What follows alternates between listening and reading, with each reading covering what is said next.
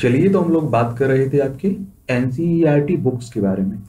इसमें हम लोग कक्षा ग्यारहवीं की राजनीतिक सिद्धांत, पहली बुक्स जो पॉलिटी की है, उसे हम लोग कवर कर चुके हैं। जो दूसरी बुक थी, भारत का संविधान, सिद्धांत और व्यवहार। इसके हम लोग तीन चैप्टर अभी तक देख चुके हैं। आज बात करेंगे हम लोग कार्यपालिका के बारे में। और याद रखिए, अगर आप लोग सिविल सर्विस या किसी स्टेट की पीसीएस की एग्ज़ाम की तैयारी कर रहे हैं तो आप लोग एनसीईआरटी समय रहते हुए पढ़ लें क्योंकि इनके बिना कुछ नहीं उखड़ने वाला है। तो इससे अच्छा है कि समय रहते हुए इसे कवर कर लें आप लोग। और एक, एक बात याद रखिए कक्षा छठवीं से लेकर कक्षा दसवीं तक की जो भी आपकी सिविल सर्विस या स्टेट पीसीएस के लिए ज़रूरी है बुक एनसीईआरटी की उन सबको हम लोग कवर कर चुके हैं। तो उन सब की पीडीएफ आपकी टेलीग्राम पर डाल दी गई है और क्लासें आपकी प्लेलिस्ट सूची बनी हुई है आपकी एनसीईआरटी किताबों का पूर्ण संग्रह के नाम से। उसी में डले हुए हैं। और याद रखिए, देखिए टाइम लगेगा मुझे कवर करवाने में। हो सकता है कि ज़्यादा लंबा समय लग जाए, क्योंकि अभी आपकी ग्यारह की कुछ बुक्स हैं बारहवीं की भी कुछ बुक्स बची हुई है। तो इसमें आप लोग एक काम कर सकते हैं कि आपकी समस्या इतनी ही थी कि कौन सी बुक्स पढ़नी है, कौन छोड़नी नहीं, कहाँ मिलेंगी? तो इनका समाधान आपका कर दिया गया है। इन सब की पीडीएफ आपको टेलीग्राम पर डाल दी गई जो बुक्स आपके लिए ज़रूरी है। और भी जो महत्वपूर्ण बुक्स होती हैं, उनकी पीडीएफ भी आपकी टेलीग्राम पर डाल देता हूँ। वहाँ से आप लोग डाउनलोड कर लोड कर लीजिए। तीन शब्द आप लोग हमेशा सुनते रहते होंगे, कार्यपालिका, विधायिका और न्यायपालिका के बारे में। इसके बारे में यहाँ तीनों शब्दों के बारे में सामान्य जानकारी दे देता हूँ। लेकिन कार्यपालिका के बारे में हम लोग विस्तार से बात करेंगे। आगे की क्लासों में हम लोग विधायिका और न्यायपालिका के बारे में भी बहुत विस्तार से बात करेंगे। आप सभी लोग जानते हैं कि जो हमारे राज्य राज्य कहने का मतलब है, भारत ही कह देते हैं एक बार राज्य को, या देश कह दीजिए आप लोग, जो भी आपको कहना है। तो इसमें आप देखेंगे, जो भी आपकी शक्ति है, इन्हें तीन अंगों में बांटा गया है, कार्यपालिका, विधायिका और न्यायपालिका। अब आपके मन में सवाल आता है कि न्यायपालिका आखिर क्या है?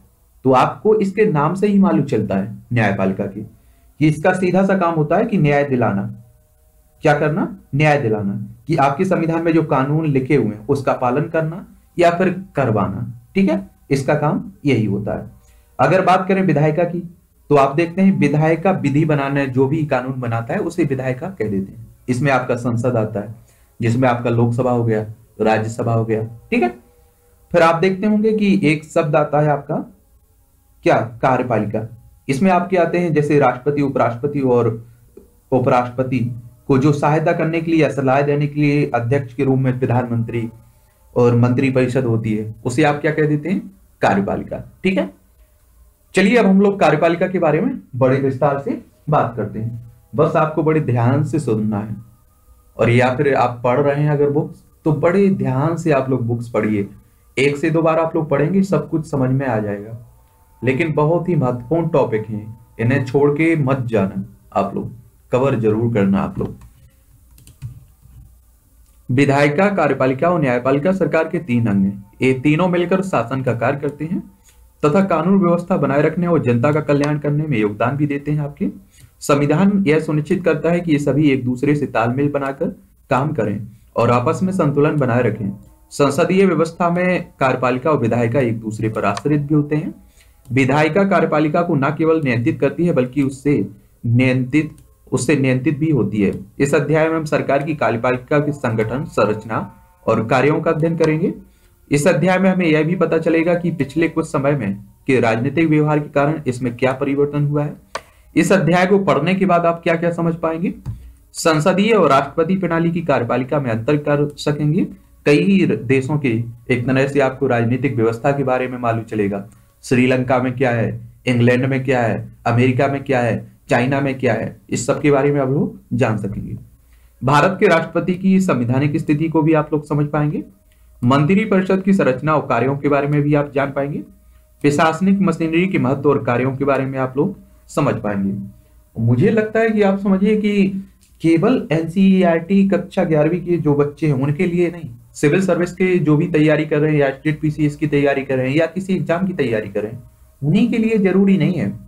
मुझे लगता है अगर भारत में आप रह रहे हैं, आपकी राजनीति में थोड़ी सी भी दिलचस्पी है तो आपको भी मुझे लगता है कि इनके बारे में, सबके बारे में मालूम होना चाहिए कि आप जिन नेताओं को चुनते हैं, फिर आप प्रधानमंत्री की बात कर ले, राष्ट्रपति साहब, इनको किस तरह से चुना जाता है, इनका काम क्या होता है, ये हैं क्या आखिर?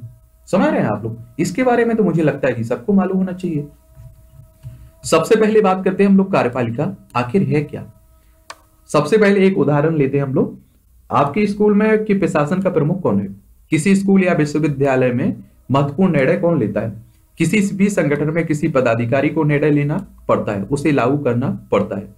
हम इस क्रिया को प्रशासन या प्रबंधन कहते हैं। लेकिन प्रशासन के लिए संगठन के शीर्ष पर एक ऐसा समूह होना चाहिए, जो बड़े या नीतिगत निर्णय ले सके और दैनिक प्रशासनिक कार्यों की देखरेख और उनमें तालमेल कर सके।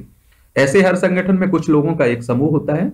ये लोग उस संगठन के कुछ मुख्य प्रशासनिक या कार्यपालिका अधिकारी के रूप में काम करते हैं। आपने शायद बड़ी कंपनियों, बैंकों और औद्योगिक इकाइयों के प्रशासनिक अधिकारियों के बारे में सुना होगा। उनमें से कुछ पदाधिकारी नीतियों, नियमों और कायदों के बारे में निर्णय लेते हैं। तो कुछ उसे संगठन में लागू करने, करते हैं और कार्यपालिका का अर्थ व्यक्तियों के उस समूह से है, जो कायदे कानूनों का संगठन में रोज़ाना लागू करते हैं। खैर, छोड़िए, आप लोग इतना लंबा आप लोग मत जाइएगा। आप लोगों ने क्लास में पढ़ा होगा। आप लोग कक्षा एक भी में पढ़े होंगे, दो दूसरी में, तीसरी में। तो मुझे लगता है कि आपके स्कूल में चुनाव होता होगा। चुनाव में एक आप देखते होंगे, अध्यक्ष बनता है। उसके बाद आप देखते हैं, एक उपाध्यक्ष बनता है, सदस्य बनते हैं। तो आपने देखा होगा, जो मुख्य फैसला होता है, वो ऊपर का अध्यक्ष काम करता है। लेकिन वो किसकी सलाह पर करता है? सभी स्कूल के जो भी छात्र होते हैं, चुने जाते हैं, उन्हीं की सलाह पर, एक तरह से। तो आप इसी प्रक्रिया को कह सकते हैं, कार्यपालिका। ठीक है? सरकार के मामले में भी एक संस्था नीति का निर्णय लेती है और नियमों और कायदों के बारे में तय करती है। दूसरी उसे लागू करने की ज़िम्मेदारी निभाती है। सरकार का वह अंग जो इन नियमों, कायदों को लागू करता है और प्रशासन का काम करता है, उसे हम लोग कार्यपालिका कहते हैं। ठीक है? कार्यपालिका के प्रमुख कार्य क्या है आखिर? तो कार्यपालिका सरकार का वह अंग जो विधायिका द्वारा स्वीकृत नीतियों और कानूनों को लागू करने के लिए जिम्मेदार है। कार्यपालिका प्राय नीति निर्माण में भी भाग लेती है कार्यपालिका का औपचारिक नाम अलग अलग राज्यों में आपको भिन्न भिन्न होता है। एक बात और आपको बताऊँ, राज्य कहने का मतलब देश होता है। समझ रहे हैं आप लोग? ऐसा नहीं कि मध्य प्रदेश या उत्तर प्रदेश की बात कर रहा हूँ मैं। राज्य कहने का मतलब है कि भारत एक राज्य है यूएसए एक राज्य इस तरह की, या फिर आप लोग इसे ही राष्ट्र कह देते हैं, देश कह देते हैं, ठीक है? कुछ देशों में आप देखेंगे राष्ट्रपति होता है तो कहीं आपको चांसलर देखने को मिलेगा। कार्यपालिका में केवल राष्ट्रपति, प्रधानमंत्री या मंत्री ही नहीं होते हैं, बल्कि इसके अंदर पूरा प्रशासनिक ढांचा, जिसमें सिविल सेवा के सदस्य भी आप लोग भी शामिल होंगे। अगर आप सिविल सर्विस में चुने जाते हैं तो आप भी इसमें शामिल होंगे। सरकार के प्रधान और उनके मंत्रियों को राजनीतिक कार्यपालिका कहते हैं और वे सरकार की सभी नीतियों के लिए उत्तरदायी होते हैं। लेकिन जो लोग रोज रोज के प्रशासन के लिए उत्तरदायी होते हैं, उन्हें स्थायी कार्यपालिका कह देते हैं। एक तरह से आप समझिए कि नेता क्या है? नेता तो पाँच साल बाद बदल जाएँगे। जहाँ छह साल का टर्म है, वहाँ छह साल बाद बदल जाएँगे। लेकिन आप अगर सिविल सेवक हैं तो आप हमेशा रहेंगे। समझ रहे हैं आप लोग? तो आप लोग स्थायी हो गए। और मुझे लगता है कि अगर आप लोग अच्छे से अपनी ज़िम्मेदारी निभाते हैं, क्या करते हैं? निभाते हैं। तो आप बेहतर काम कर पाएँगे और बेहतर एक तरह से वहाँ सुविधाएँ उपलब्ध हो सकती हैं उस क्षेत्र में। ठीक है? कार्यपालिका कितने प्रकार की होती है आखिर? ये भी क्वेश्चन उठता है कई बार। सभी देशों में एक ही तरह की कार्यपालिका नहीं होती है। आपने अमेरिका के राष्ट्रपति और इंग्लैंड की महारानी के बारे में सुना होगा। लेकिन अमेरिका के राष्ट्रपति की शक्तियाँ और कार भारत के राष्ट्रपति की शक्तियों से बहुत अलग हैं। इसी प्रकार इंग्लैंड की महारानी की शक्तियाँ भूटान के राजा से भिन्न है। भारत और फ्रांस दोनों ही देशों में प्रधानमंत्री हैं, पर उनकी भूमिकाएँ अलग अलग हैं, ऐसा क्यों? आप लोगों को एक उदाहरण देता हूँ। आप लोगों ने देखा होगा कि हमारे यहाँ राष्ट्रपति नाम मात्र का राष्ट्रपति है। ऐसा नहीं है कि राष्ट्रपति कुछ ही अपने मन से करते रहे। क्यों नाम मात्र का कह रहा हूँ मैं? क्योंकि आपने देखा होगा कि केंद्र में जिसकी सत्ता होती है, एक तरह से उसी का राष्ट्रपति होता है। जिसके पास बहुमत होता है, राज्यसभा, लोकसभा और विधानसभाओं में, उसी का राष्ट्रपति होता है। अब जब आपका राष्ट्रपति होगा तो आपकी बात मानेंगे या विपक्ष की बात मानेगा? तो आपने देखा होगा डायरेक्ट ना कहें आप लोग, लेकिन इनडायरेक्ट आपके राष्ट्रपति साहब का झुकाव, जिस पार्टी ने उसे राष्ट्रपति बनाया हो, उसकी तरफ़ रहता है हमेशा। ठीक है? और इसी के दूसरी तरफ़ आप जाइए इंग्लैंड में। माफ़ करिए यूएसए में। यूएसए में आपको देखने को मिलेगा कि राष्ट्रपति मैन होता है। सबसे शक्तिशाली एक तरह से आप कह सकते हैं कि राष्ट्रपति अमेरिका का होता है। इसीलिए तो कह देते हैं आप लोग कई बार कि अगर अमेरिका को सर्दी हो, छींक आती है एक तरह से तो दुनिया को सर्दी हो जाती है। इतने मतलब प्रभावकारी उसके जो भी निर्णय होते हैं वहाँ के राष्ट्रपति साहब के देखने को मिलते हैं। अभी आपने देखा है। 2016 से आप लोग बराबर झेल रहे हैं एक तरह से। अमेरिका के डोनाल्ड ट्रंप ने किस तर, किस तरह के निर्णय लिए हैं? उसका प्रभाव दुनिया पर किस तरह से पड़ा है? आप लोग बेहतर समझ सकते हैं।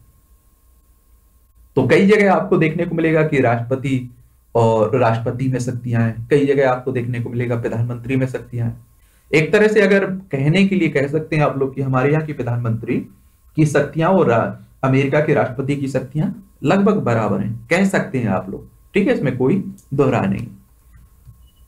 खुद खुद सीखें, क्या सीखना है? सार्क सम्मेलन या जी सेवन देशों की बैठक की एक फ़ोटो प्राप्त करें और उन लोगों की सूची बनाएँ जिन्होंने उसमें भाग लिया। क्या आप सोच सकते हैं कि क्यों उन्हें, उन्हीं लोगों ने भाग लिया है, अन्य लोगों ने क्यों नहीं? इस प्रश्न का उत्तर देने के लिए हम इसमें, इनमें से कुछ देशों की कार्यपालिकाओं की प्रकृति पर प्रकाश डालेंगे। अमेरिका में अध्यक्षात्मक व्यवस्था है और कार्यकारी शक्तियाँ राष्ट्रपति के पास होती हैं। कनाडा में संसदीय लोकतंत्र और संविधानिक राजतंत्र है, जिसमें महारानी एलिजाबेथ द्वितीय राज्य की प्रधान और प्रधानमंत्री सरकार का प्रधान होता है। फ्रांस में आप देखेंगे राष्ट्रपति और प्रधानमंत्री अर्ध अध्यक्षात्मक व्यवस्था के हिस्से हैं और राष्ट्रपति, प्रधानमंत्री और अन्य मंत्रियों की नियुक्ति करता है। उन्हें पद से हटा नहीं सकता, क्योंकि वे संसद के प्रति उत्तरदायी होते हैं। जापान में अगर हम लोग देखें तो संसदीय व्यवस्था है, जिसमें राजा देश का और प्रधानमंत्री सरकार का प्रधान होता है। और वहीं इटली में हम लोग देखें तो संसदीय व्यवस्था है, जिसमें राष्ट्रपति देश का और प्रधानमंत्री सरकार का प्रधान है। एक तरह से आप कह सकते हैं इटली जैसी व्यवस्था हमारे यहाँ रूस में एक अर्ध अध्यक्षात्मक व्यवस्था है, जिसमें राष्ट्रपति देश का प्रधान और राष्ट्रपति द्वारा नियुक्त प्रधानमंत्री सरकार का प्रधान होता है। जर्मनी में एक संसदीय व्यवस्था है, जिसमें राष्ट्रपति देश का एक नाममात्र प्रधान का प्रधान और चांसलर सरकार का प्रधान होता है। आप लोगों को कई जगह देखने को मिल रहा होगा कि प्रधानमंत्री शक्तिशाली है। कई जगह आपको देखने को मिल रहा होगा कि राष्ट्रपति साहब क्या है, आपके शक्तिशाली हैं। रूस में आप लोग कभी नहीं सुनते होंगे कि प्रधानमंत्री ने एक निर्णय लिया, प्रधानमंत्री ने वो निर्णय लिया। वहाँ तो आपने देखा होगा, राष्ट्रपति साहब हमेशा उभर के आते हैं एक तरह से। ठीक है? अगर बात करें अध्यात्मक व्यवस्था में, राष्ट्रपति, राज्य और सरकार दोनों का ही विधान होता है। इस व्यवस्था में सिद्धांत और विवाह दोनों में राष्ट्र, में राष्ट्रपति का पद बहुत शक्तिशाली होता है। ऐसी व्यवस्था आपको अमेरिका, ब्राज़ील और लैटिन अमेरिका के अनेक देशों में पाई जाती है। तो एक बात अपने दिमाग में रख लीजिए कि अमेरिका, ब्राज़ील, लैटिन अमेरिका, ये अध्यात्मक व्यवस्था के उदाहरण है। अगर कहीं आंसर लिखने के लिए आता है, या फिर आपका प्रारंभिक परीक्षा में क्वेश्चन पूछा जाता है, या कहीं भी पूछा जा सकता है तो वहाँ आप लोग इन तीनों के उदाहरण दे सकते हैं। ठीक है? America, Brazil, Latin America. संसदीय व्यवस्था में प्रधानमंत्री सरकार का प्रधान होता है और अधिकतर अधिकतर संसदीय व्यवस्थाओं में एक राष्ट्रपति या फिर राजा होता है, जो देश का औपचारिक या नाम मात्र का प्रधान होता है। इस व्यवस्था में राष्ट्रपति या राजा की भूमिका मुख्यतः अलंकारिक होती है और प्रधानमंत्री तथा मंत्रिमंडल के पास वास्तविक शक्तियाँ होती हैं। और जर्मनी, इटली, जापान, इंग्लैंड और पुर्तगाल आदि देशों में यह व्यवस्था आपको देखने को मिलेगी। फिर एक होता है अर्ध अध्यक्षात्मक व्यवस्था में। राष्ट्रपति, प्रधानमंत्री दोनों देखने को मिलेंगे। लेकिन संसदीय व्यवस्था के विपरीत उसमें राष्ट्रपति को दैनिक कार्यों के संपादन में महत्वपूर्ण शक्तियाँ प्राप्त हो सकती हैं।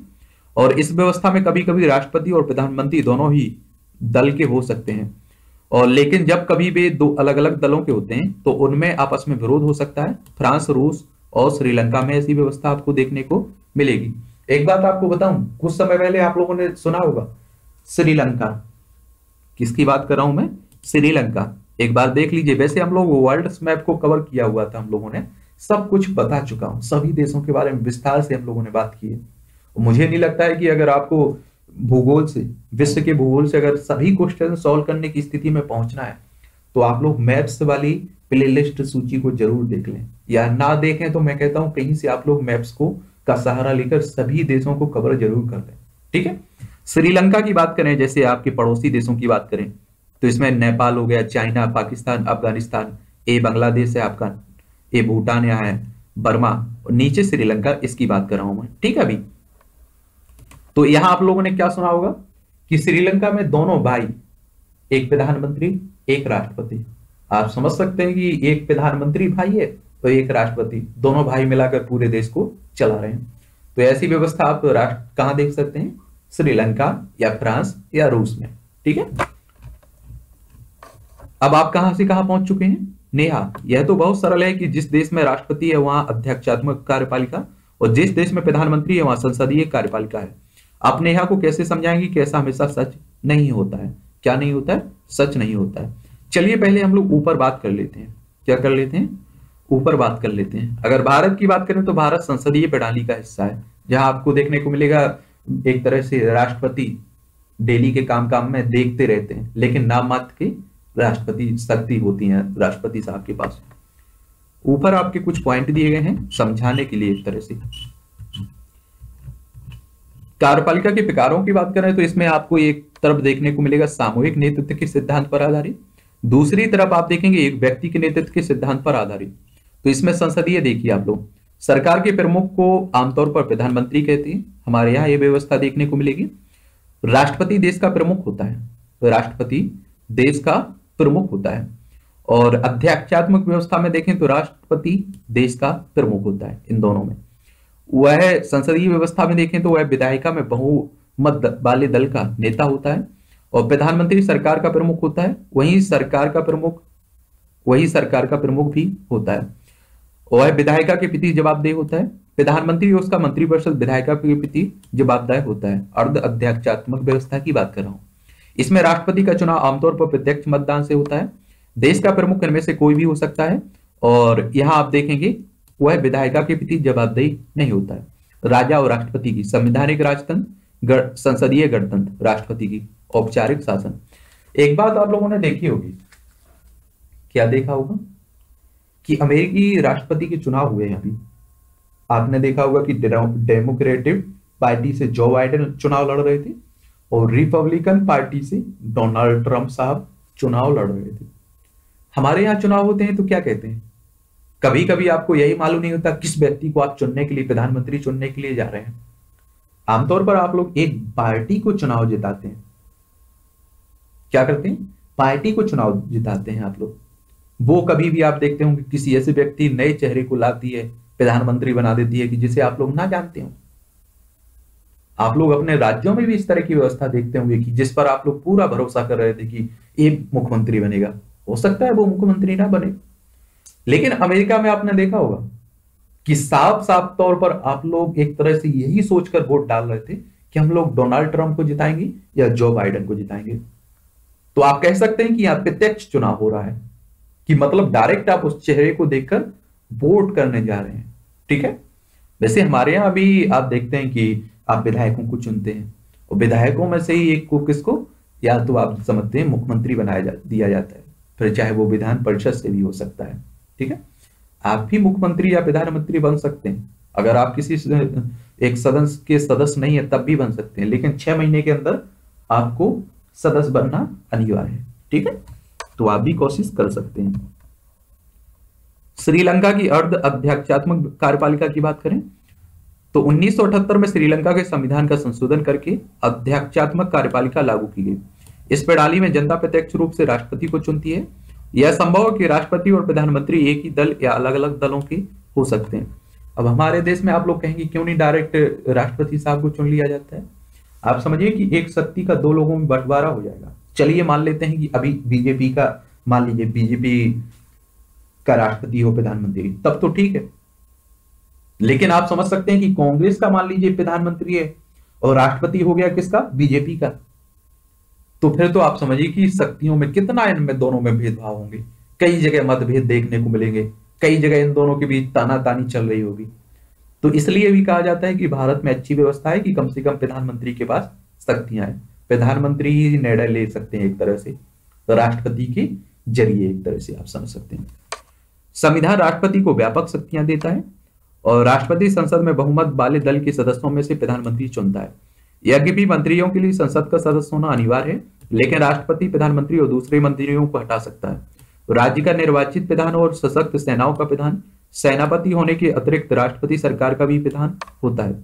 राष्ट्रपति छह वर्ष के लिए चुना जाता है। उसे संसद की कुल सदस्य संख्या के दो तिहाई बहुमत से पारित प्रस्ताव के बाद द्वारा ही हटाया जा सकता है। यदि वह प्रस्ताव संसद के कम से कम आधे सदस्यों द्वारा पास किया जाए और संसद का अध्यक्ष भी संतुष्ट हो कि आरोपों में दम है तो संसद का अध्यक्ष उसे सर्वोच्च न्यायालय को भेज सक, भेज सकता है। श्रीलंका के राष्ट्रपति और प्रधानमंत्री की स्थिति भारत से कैसे भिन्न है? और भारत श्रीलंका के राष्ट्रपति के महाभियोग में सर्वोच्च न्यायालय की क्या भूमिका की तुलना करें? एक बात और आपको बताऊँ। देखिए, आप लोग तीनों व्यवस्थाओं को आप लोग याद रखिए। क्यों बोल रहा हूँ मैं? संसदीय अर्ध अध्यक्षात्मक और अध्यक्षात्मक व्यवस्था। इनके उदाहरण भी रखिए। आप लोग संसदीय व्यवस्था में आप लोग फ्रांस को भी दे सकते हैं, भारत को भी दे सकते हैं। अर्ध अध्यक्षात्मक व्यवस्था में आप लोग श्रीलंका को भी डाल सकते हैं। और अध्यक्षात्मक व्यवस्था की बात करें तो उसमें अमेरिका को भी डाल सकते हैं आप लोग। इस तरह से इन तीनों उदाहरणों को याद रखिए, क्योंकि कई बार पूछ लेता है आप लोगों से, क्या कर लेता है? कई बार पूछ लेता है इस तरह के क्वेश्चंस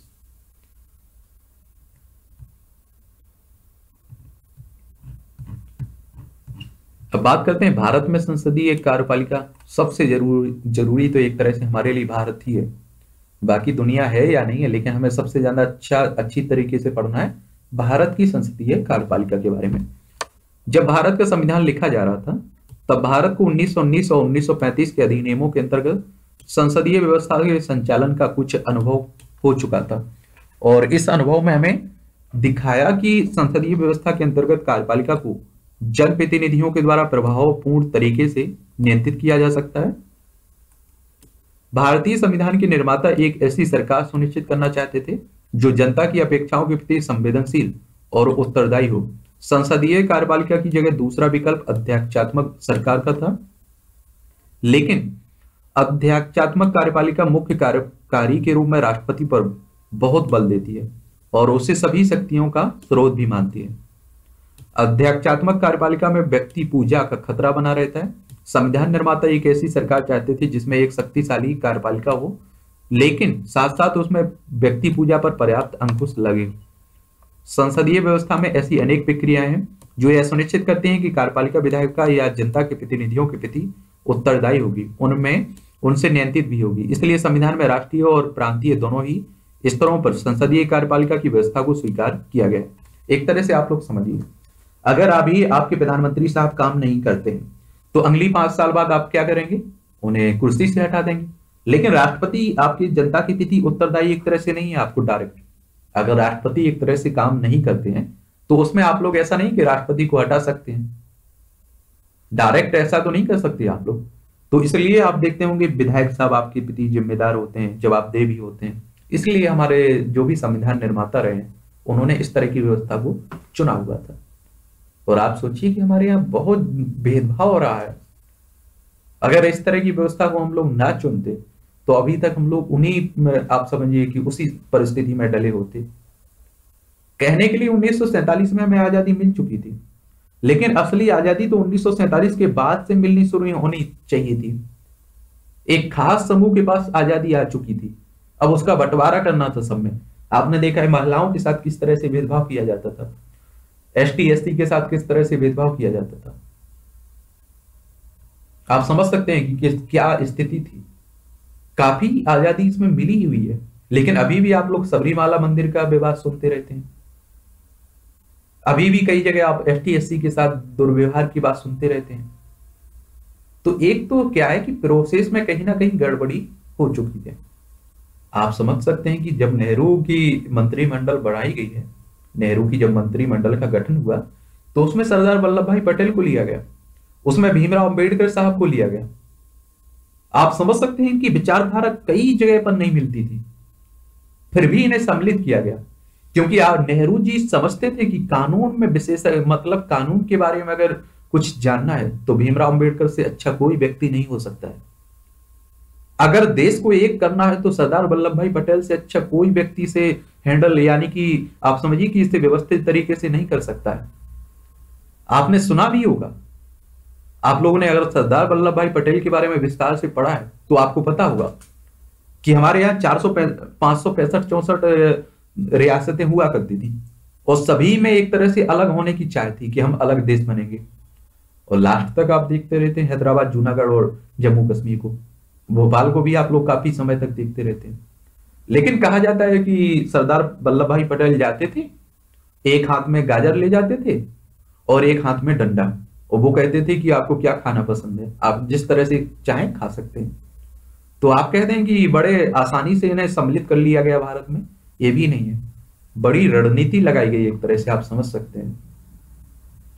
और आप समझिए कि उस समय अगर जम्मू कश्मीर पर भी छूट मिल जाती और नेहरू की छोटी सी गलती अगर सुधर जाती तो जम्मू कश्मीर हमारा पूरा हिस्सा होता। आज जो हमारे देश के जो सैनिक शहीद होते हैं, ये नौबत ही ना आती, पाकिस्तान का कब्जा ही ना होता। समझ रहे छोटी सी गलती की मतलब उन्होंने अंतरराष्ट्रीय एक तरह से मंचों पर नहीं उभारना चाहिए था उस मुद्दे को। क्योंकि आप समझ सकते हैं कि उस समय के जो भी अंतरराष्ट्रीय मंच थे, वो हमारे बिल्कुल खिलाफ थे। आप जानते हैं कि अमेरिका का साथ देने के लिए एक तरह से आपका अमेरिका, रूस और चाइना एक तरह से चाइना और पाकिस्तान की तरफ़ झुकाव था। इसलिए हमें वहाँ से कोई उम्मीद ही नहीं रखनी चाहिए थी। क्या हमारे देश में बहुत मौजूद प्रधानमंत्री नहीं हुए? क्या इसका मतलब यह है कि संसदीय व्यवस्था में किसी एक व्यक्ति की प्रधानता जारी रह सकती है, तब जो जनता और विधायिका को लगातार सचेत रहने की ज़रूरत है? और कई लोग कहते हैं कि हमारे देश में सबसे प्रधानमंत्री अभी शक्तिशाली है। हो सकता है कि आपका मानना हो आपका। देखिए, लेकिन मैं ये नहीं कहूँगा क्योंकि मैंने तो सरदार वल्लभ भाई पटेल को भी देखा है। उसके बाद आप होम मिनिस्टर थे ना वो? उसके बाद नेताओं की बात कर रहा हूँ मैं। और प्रधानमंत्रियों की बात करें तो लाल बहादुर शास्त्री को आप देखिए। उनकी कद छोटी थी। लोग कहते थे कि वो तुम्हारी कद छोटी है, ऐसा है, वैसा है। लेकिन उन्होंने बड़े बड़े काम करके दिखाए। इस तरह इसी तरह आप लोग इंदिरा गांधी को देखिए।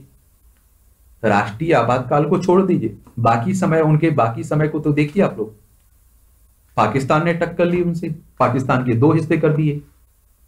आज आप लोग जो बांग्लादेश देखते हैं 1971 की लड़ाई के बाद ही तो उभर के आया इंदिरा गांधी के समय।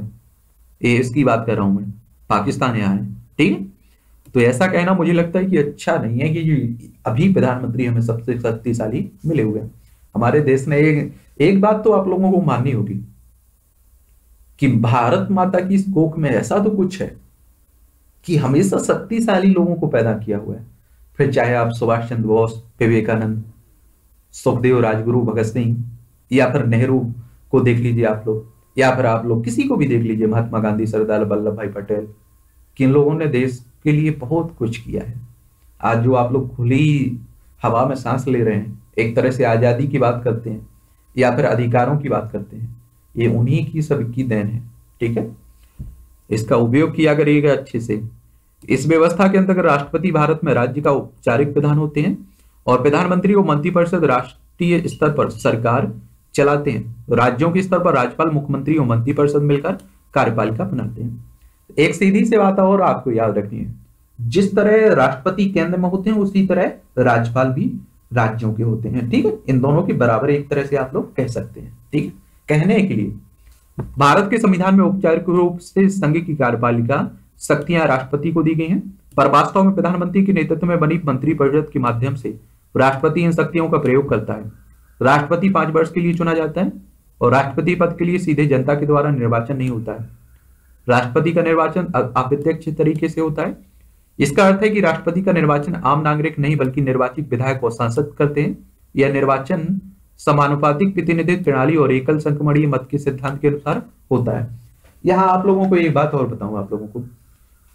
देखिए आप लोग देखते हो कि, कि प्रधानमंत्री का चुनाव तो डायरेक्ट हो गया एक तरह से आप कह सकते हैं। कि जनता किन्हें चुनती है? विधायक को। ए माफ़ करिएगा लोकसभा सदस्यों को। लोकसभा सदस्यों में से या राज्यसभा सदस्यों में से एक प्रधानमंत्री बन जाता है। लेकिन आपने देखा होगा कि क्या है? राष्ट्रपति इनडायरेक्ट तरीके से चुना जाता है। कैसे? इसमें आप देखते होंगे लोकसभा सदस्य विधानसभा सदस्य और राज्यसभा सदस्य भाग लेते हैं। किसके? राष्ट्रपति के चुनाव में। एक बात और आप, आपको बता दूँ। यहाँ एक शब्द आपको हमेशा याद रखना है। निर्वाचित सदस्य ना कि मनोनीत सदस्य। निर्वाचित सदस्य भाग लेते हैं मनोनीत सदस्य इसमें चुनाव राष्ट्रपति के चुनाव में भाग नहीं लेते हैं। ठीक है? और यहाँ एक बात और कही जा रही है कि राष्ट्रपति एक तरह से मंत्रिपरिषद या प्रधानमंत्री के सलाह पर काम करते हैं। मान लीजिए आपने देखा होगा कि एक तरह से अध्यादेश लाने की शक्ति राष्ट्रपति को आर्टिकल 123 के तहत मिली हुई है। आर्टिकल यानी कि अनुच्छेद एक, एक दो तीन के तहत राष्ट्रपति के पास शक्ति है कि वो अध्यादेश लाए। लेकिन आप हमेशा देखते होंगे अध्यादेश वो लाते हैं किसकी सलाह पर? प्रधानमंत्री। या प्रधानमंत्री के नेतृत्व में बनी जो भी मंत्रिमंडल है मंत्री परिषद है उसी के एक तरह से विचार पर। आप कह सकते हैं उसी की सलाह पर। ऐसा नहीं कि राष्ट्रपति साहब रात में उठे बारह बजे, उन्होंने कहा कि वो हम ऐसा करते हैं। ऐसा तो आपने नहीं देखा होगा। लेकिन अमेरिका में आप लोगों ने देखा होगा। कभी कभी डोनाल्ड ट्रंप चाचा ऐसा करते थे कि सुबह वो उठे, उन्होंने मंजन किया होगा और उन्होंने ट्वीट कर दिया कि आज मैं एक, ए करने वाला हूँ। तो आप समझिए, इतने शक्तिशाली हुआ करते हैं। और हमारे यहाँ के राष्ट्रपति अगर जिसने उन्हें प्रधानमंत्री प्रधानमंत्री मतलब जिस पार्टी ने उन्हें राष्ट्रपति बनाया, उसकी एक बात नहीं मानेंगे, तुरंत वो महाभियोग के प्रयोग करके हटा देंगे। समझ रहे हैं आप लोग? केवल संसद की, संसद ही राष्ट्रपति को महाभियोग की प्रक्रिया के द्वारा उसके पद से हटा सकती है। और पिछले अध्याय में हमने पढ़ा है कि इस प्रक्रिया के लिए संसद में विशेष बहुमत की ज़रूरत पड़ती है। महाभियोग केवल संविधान के उल्लंघन के आधार पर लगाया जा सकता है। और आप देखते हैं आर्टिकल इकसठ के तहत ये प्रक्रिया चलती है। अनुच्छेद चौहत्तर एक, क्या कहता है राष्ट्रपति को सहायता और सलाह देने के लिए एक मंत्री परिषद होगी, जिसका प्रधान प्रधानमंत्री होगा, और राष्ट्रपति अपने कृत्यों का प्रयोग करने में ऐसी सलाह के अनुसार कार्य करेगा।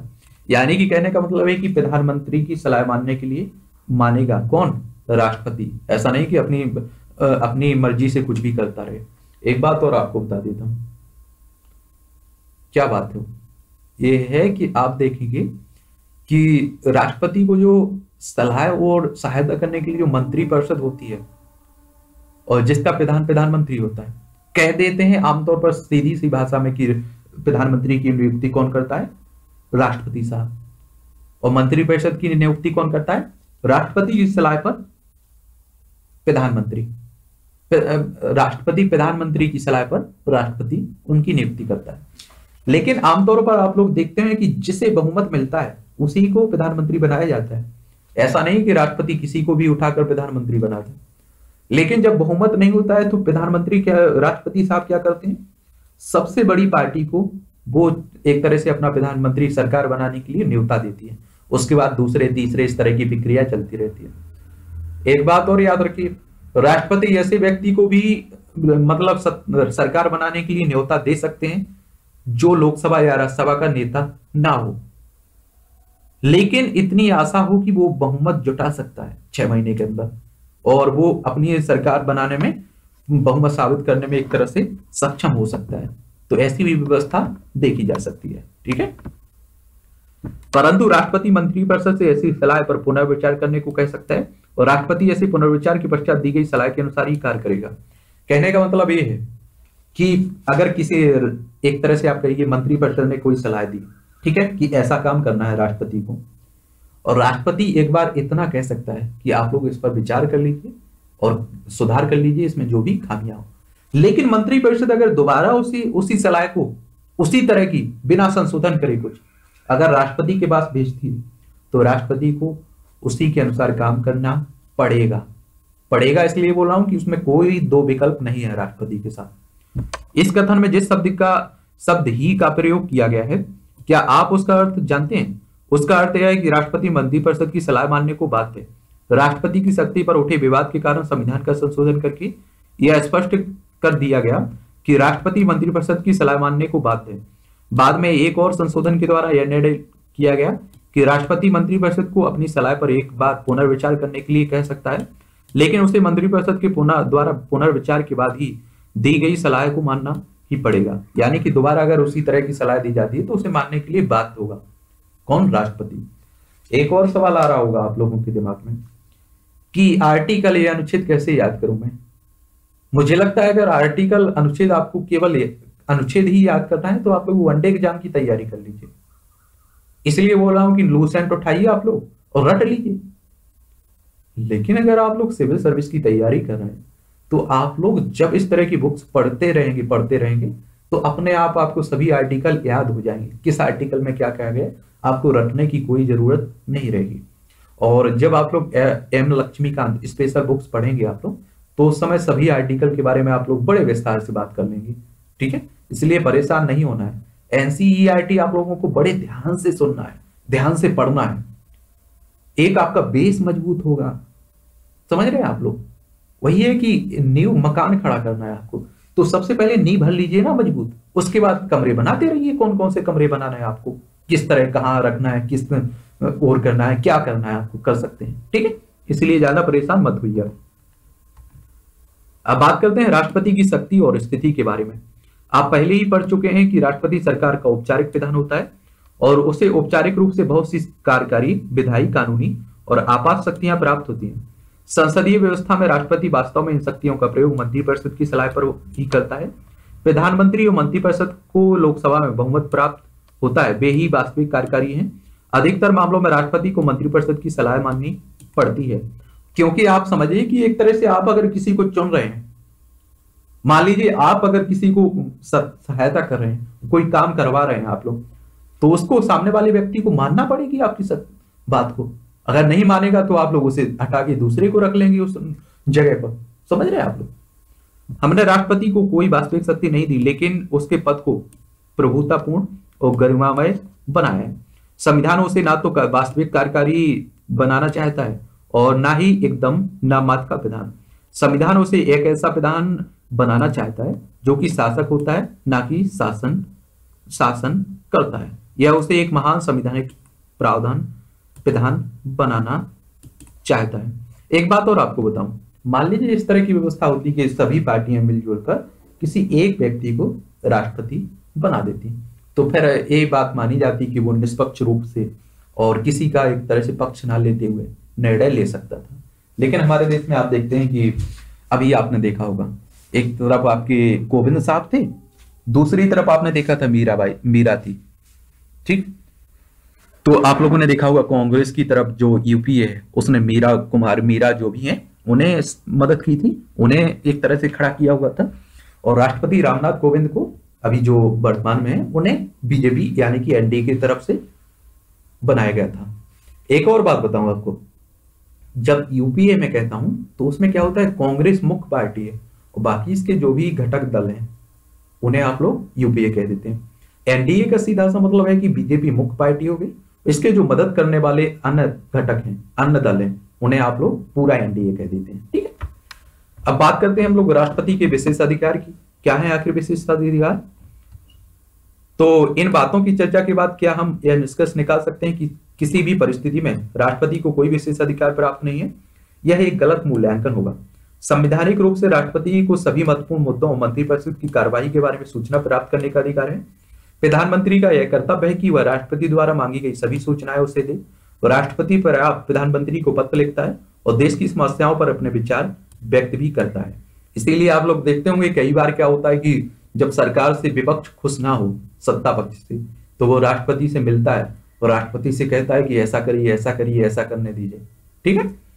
मैं यहाँ कहने यहाँ कहने भर को बैठा हूँ, दिया गया हूँ कि मैं सचमुच के सवाल भी पूछ रहा हूँ। क्या इस पुस्तक के लेखक ने मुझे अपने मनचाहे सवाल पूछने की शक्ति दी है? और या मैं वही सवाल पूछ रहा हूँ जो उनके मन में उठ रहे हैं? ये राष्ट्रपति को इंगित करता है। समझ रहे हैं आप लोग?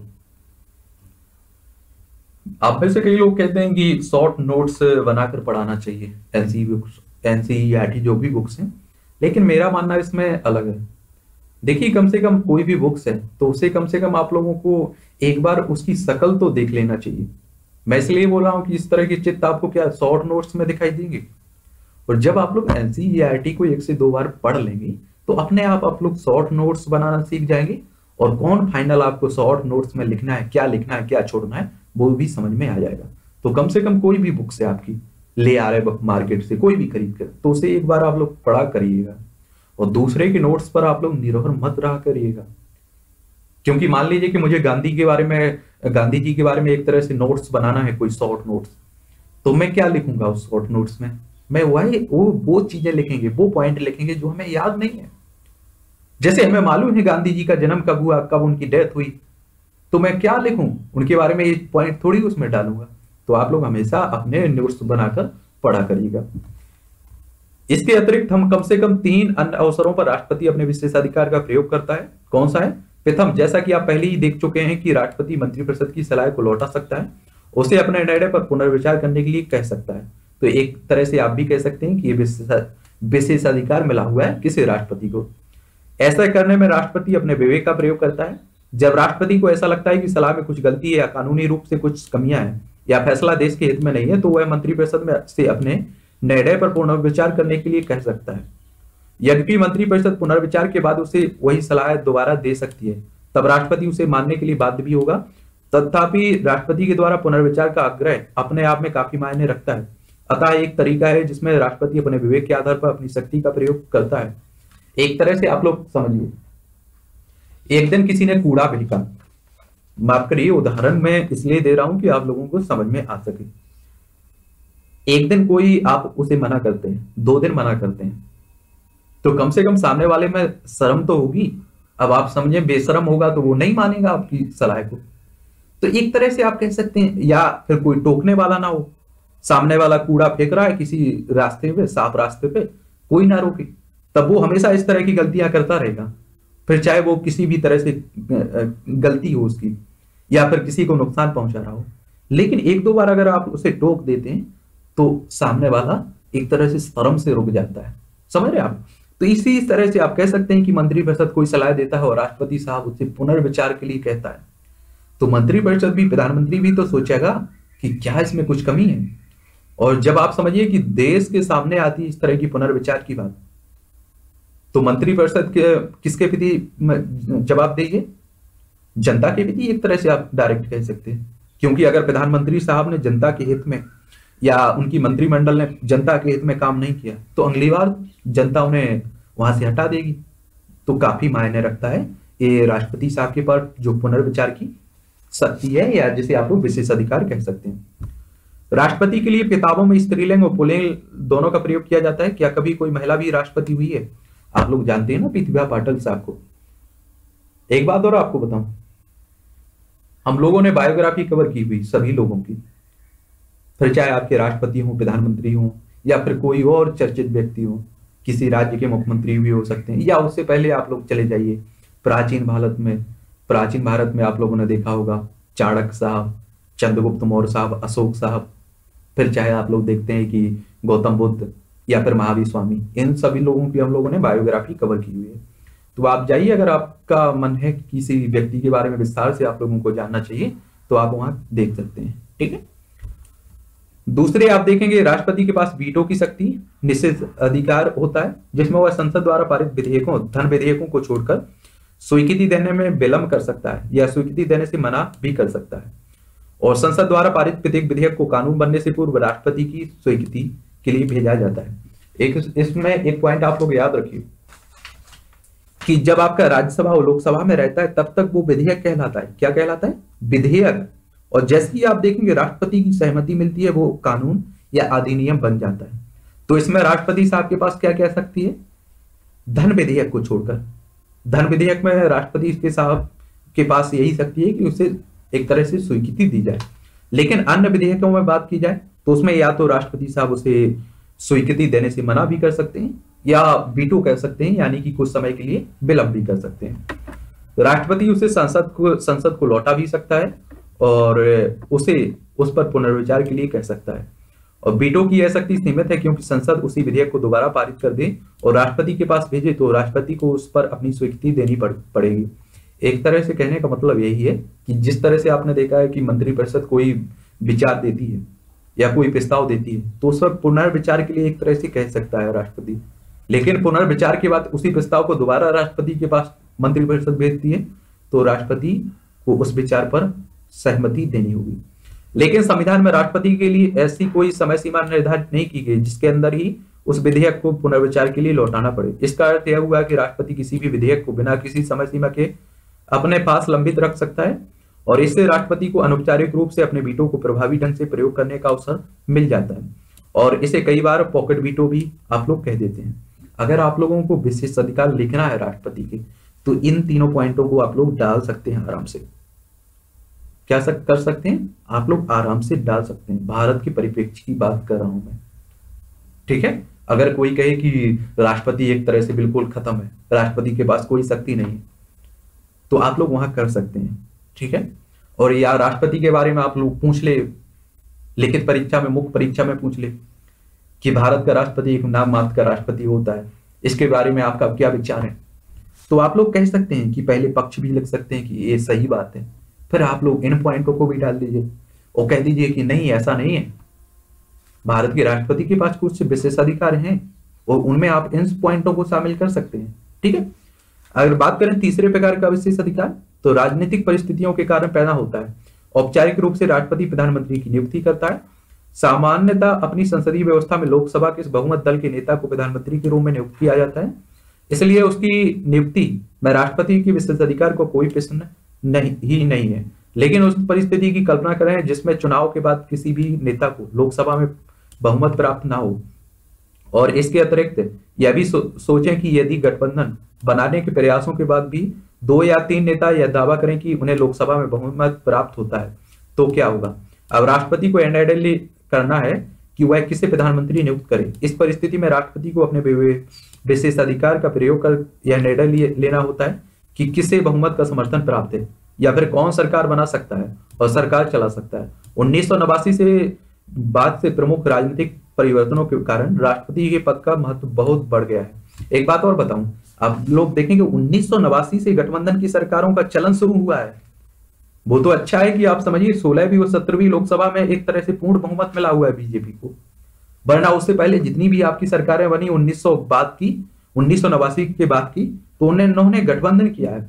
आप लोग सुनते हैं ना कि अटल बिहारी वाजपेयी ने तेरह पार्टियों की गठबंधन की सरकार चलाई। उनकी गठबंधन में तेरह पार्टियाँ शामिल थी। समझ रहे आप लोग?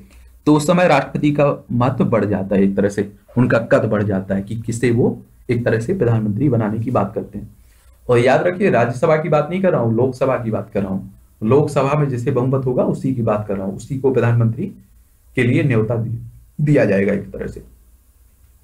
उन्नीस सौ नवासी से उन्नीस तक हुए चार संसदीय चुनाव में किसी भी एक दल या दलीय गठबंधन को लोकसभा में स्पष्ट बहुमत नहीं मिल सका।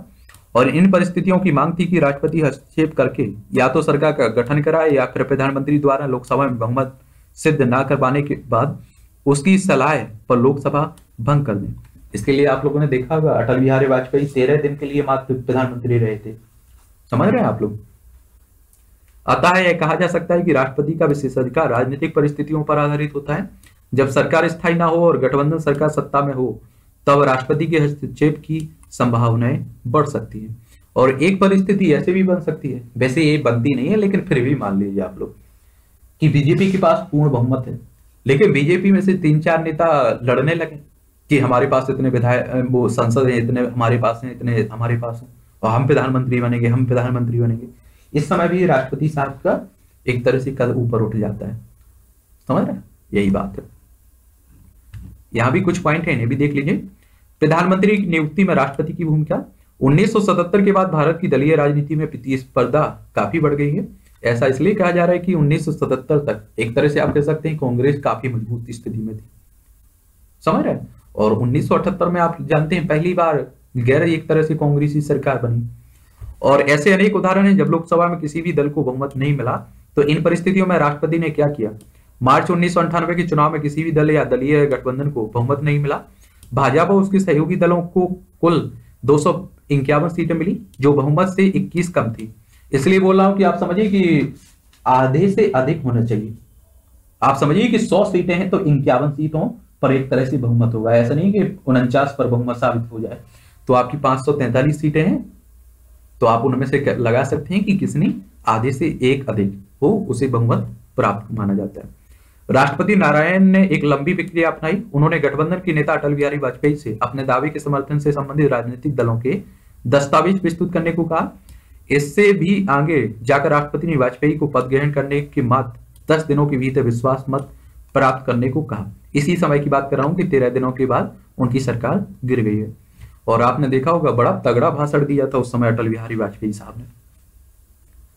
राष्ट्रपति मुख्यतः एक औपचारिक शक्ति वाला पद है, वह राष्ट्र का अलंकारिक विधान है। ऐसे में आप पूछ सकते हैं कि तब हमें राष्ट्रपति की क्या आवश्यकता है?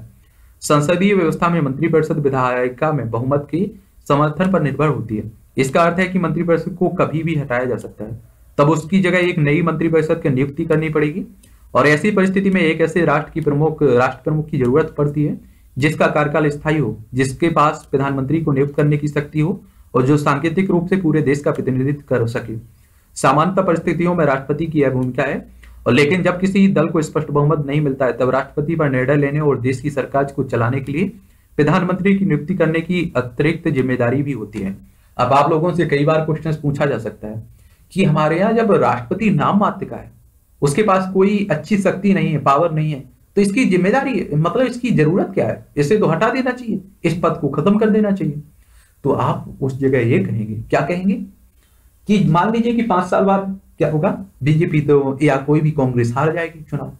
हार जाएगी तो मंत्री परिषद भंग हो जाए, एक तरह से हट जाएगी। तो उस समय देश की एक तरह से सुरक्षा, या फिर कह सकते हैं आप लोग की कोई निर्णय लेना है, या फिर नई मंत्रिमंडल या प्रधानमंत्री को नियुक्त करना है तो उस समय कोई तो होना चाहिए। कि जो इस तरह का काम करे तो उस परिस्थिति के लिए राष्ट्रपति भी ज़रूरी है, ठीक? भारत का उपराष्ट्रपति भी देख लेते हैं हम लोग। उपराष्ट्रपति पाँच वर्ष के लिए चुना जाता है और उसकी भी उसी तरह चुनते हैं, जैसे कि राष्ट्रपति को चुनते केवल अंतर इतना है कि उसके निर्वाचक मंडल में राज्य विधानसभा के सदस्य नहीं होते हैं। इसमें आप देखेंगे राज्यसभा और लोकसभा के सदस्य भाग लेते हैं, किसमें? राष्ट्रपति के चुनाव में, उपराष्ट्रपति के चुनाव में। माफ़ करिए। और उपराष्ट्रपति को हटाने के लिए राज्यसभा को अपने बहुमत से इस आशय का प्रस्ताव पास करना पड़ता है और उस प्रस्ताव पर लोकसभा की सहमति लेनी पड़ती है। उपराष्ट्रपति राज्यसभा का पदेन अध्यक्ष भी होता है तो राष्ट्रपति की मृत्यु उत्तरापत्य महाभियोग द्वारा हटाए जाने या अन्य किसी कारण से रिक्त होने पर वह कार्यवाहक राष्ट्रपति का काम करता है। इसमें आप लोग एक बात और याद रख सकते हैं कि मान लीजिए कि हमारे कोई राष्ट्रपति साहब की डेथ हो जाती है, या फिर आप समझिए कि किसी कारण से हट जाते हैं। तो उस समय आप उपराष्ट्रपति साहब उस पद को संभालेंगे। छह महीने के जब तक चुनाव नहीं होता है। लेकिन एक परिस्थिति ऐसी भी हो सकती है कि ना तो राष्ट्रपति है, ना ही उपराष्ट्रपति है। तब इस राष्ट्रपति के पद को कौन संभालेगा? तो याद रखिए, हमारे जो भी सर्वोच्च न्यायालय के मुख्य न्यायाधीश होते हैं, उन्हीं की बात करते हैं, ठीक है? उपराष्ट्रपति तभी तभी तक कार्यवाहक राष्ट्रपति के रूप में काम करता है, जब तक कि कोई नया राष्ट्रपति नहीं चुन लिया जाता है। फखरुद्दीन अली अहमद की मृत्यु के बाद बी डी जत्ती तब तक कार्यवाहक राष्ट्रपति के रूप में काम करते रहे, जब तक कि नए राष्ट्रपति का चुनाव नहीं हो गया। एक बात और याद रखनी चाहिए आपको। राज्यसभा का उपसभापति या फिर राज्यसभा का पदेन अध्यक्ष। एक तरह से आप कहिए कि राष्ट्रपति, उपराष्ट्रपति होता है। यानी कि जिस तरह से लोकसभा में आप देखते हैं, लोकसभा का अध्यक्ष कौन होता है? लोकसभा में जो भी सदस्य होता है, उन्हीं में से एक अध्यक्ष बन जाता है। लेकिन राज्यसभा में अलग प्रक्रिया है। राज्यसभा का अध्यक्ष कौन होता है? उपराष्ट्रपति। लेकिन उपराष्ट्रपति राज्यसभा का सदस्य नहीं होता है, ये भी आप लोग याद रखिए। लेकिन उपसभापति होता है, वो लोकसभा, राज्यसभा का एक तरह से अध्यक्ष मतलब सदस्य भी होता है। तो इन पॉइंटों को आप लोग याद रखिए, कई बार पूछ लेता है। ठीक है? आपके वनडे एग्ज़ाम में भी डायरेक्ट पूछ लेता है। अब आप कहाँ से कहाँ पहुँचे? ये भी बहुत बढ़िया प्रक्रिया लिखी गई है। कि आप लोग एक टॉपिक को पढ़िए और फिर देखिए कि आप कहाँ से कहाँ पहुँच चुके हैं। कल्पना कीजिए कि प्रधानमंत्री जिस राज्य में इस आधार पर राष्ट्रपति शासन लगाना चाहता है कि वह कि वहाँ की सरकार दलितों पर अत्याचार रोकने में विफल रही है। तो राष्ट्रपति की सोच कुछ अलग है और उसका कहना है कि राष्ट्रपति शासन का अभ्यास स्वरूप ही प्रयोग करना चाहिए। इस स्थिति में राष्ट्रपति के पास निम्नलिखित में से कौन विकल्प हो सकते हैं? वह प्रधानमंत्री को बताए कि राष्ट्रपति शासन की घोषणा करने वाले आदेश पर हस्ताक्षर नहीं करेगा। प्रधानमंत्री को बर्खास्त कर दे वह प्रधानमंत्री से वहाँ केंद्रीय रिज़र्व पुलिस बल भेजने को कहे। एक प्रेस वक्तव्य दे कि प्रधान क्या प्रधान, क्यों प्रधानमंत्री गलत है। इस संबंध में प्रधानमंत्री से बातचीत करे और उसे ऐसा करने से रोके। परंतु यदि प्रधानमंत्री दृढ़ रहे तब उस पर हस्ताक्षर कर दे। एक बात याद रखिए आप लोग। किसी राज्य में राज्य देखिए मैं बार बार बोला इनडायरेक्ट झुकाव रहता है किसके पास? सत्ता पक्ष की तरफ़। आपने देखा होगा कई एजेंसियाँ, राज्यपाल, राष्ट्रपति, ये सत्ता पक्ष का साथ देते हैं इनडायरेक्ट लेकिन इनडायरेक्ट नहीं देते। आप लोगों ने सुना होगा, जब किसी राज्य में एक तरह से राष्ट्रपति शासन लगाना है तो उसमें आप देखते होंगे कि राज्यपाल सलाह देता है, ना कि प्रधानमंत्री साहब। ठीक है? इसका दुरुपयोग भी देखा जाता है। लेकिन आप कह सकते हैं कि प्रधानमंत्री ही तो एक तरह से सत्ता पक्ष ही तो नियुक्त करता है राज्यपालों को। तो ऐसा हो सकता है। लेकिन सामान्यता, जब आप लोग आंसर लिख रहे हो, तब आप लोग इसको लिखा करिए कि राज्यपाल की सलाह पर ही कौन राष्ट्रपति साहब वहाँ राष्ट्रपति शासन लगाते हैं। और कई, किसी राज्य में अगर प्रधानमंत्री इस तरह की सलाह दे रहे हैं तो प्रधानमंत्री को बर्खास्त नहीं करते हैं, बल्कि उन्हें इस तरह के हस्ताक्षर करने से मना भी कर दें। या फिर आप समझिए कि वह प्रधानमंत्री से इस तरह की बातचीत से कोई बीच का रास्ता निकाल सकते हैं। या कोई अच्छा राष्ट्रपति है, ईमानदार राष्ट्रपति है, और उसे अपने पद की लालच नहीं है तो वो प्रेस यानी कि मीडिया में आकर कह सकता है कि प्रधानमंत्री साहब गलत हैं, प्रधानमंत्री साहब इसका दुरुपयोग कर रहे हैं। समझ रहे हैं तो इसी की बात कर रहा इस कार्टून जो क्या है? प्रधानमंत्री की बिना कोई मंत्री फ़सल नहीं होती। यह कार्टून बताता है किस तरह प्रधानमंत्री सरकार की अगुवाई करती है। एक तरह से आप कहिए कि मैन तो प्रधानमंत्री ही होता है ना? मान लीजिए, इंदिरा गांधी साहब खड़ी हुई हैं। ये बाकी के उनके मंत्रिमंडल के जो भी सदस्य मंत्री परिषद के, वो हैं।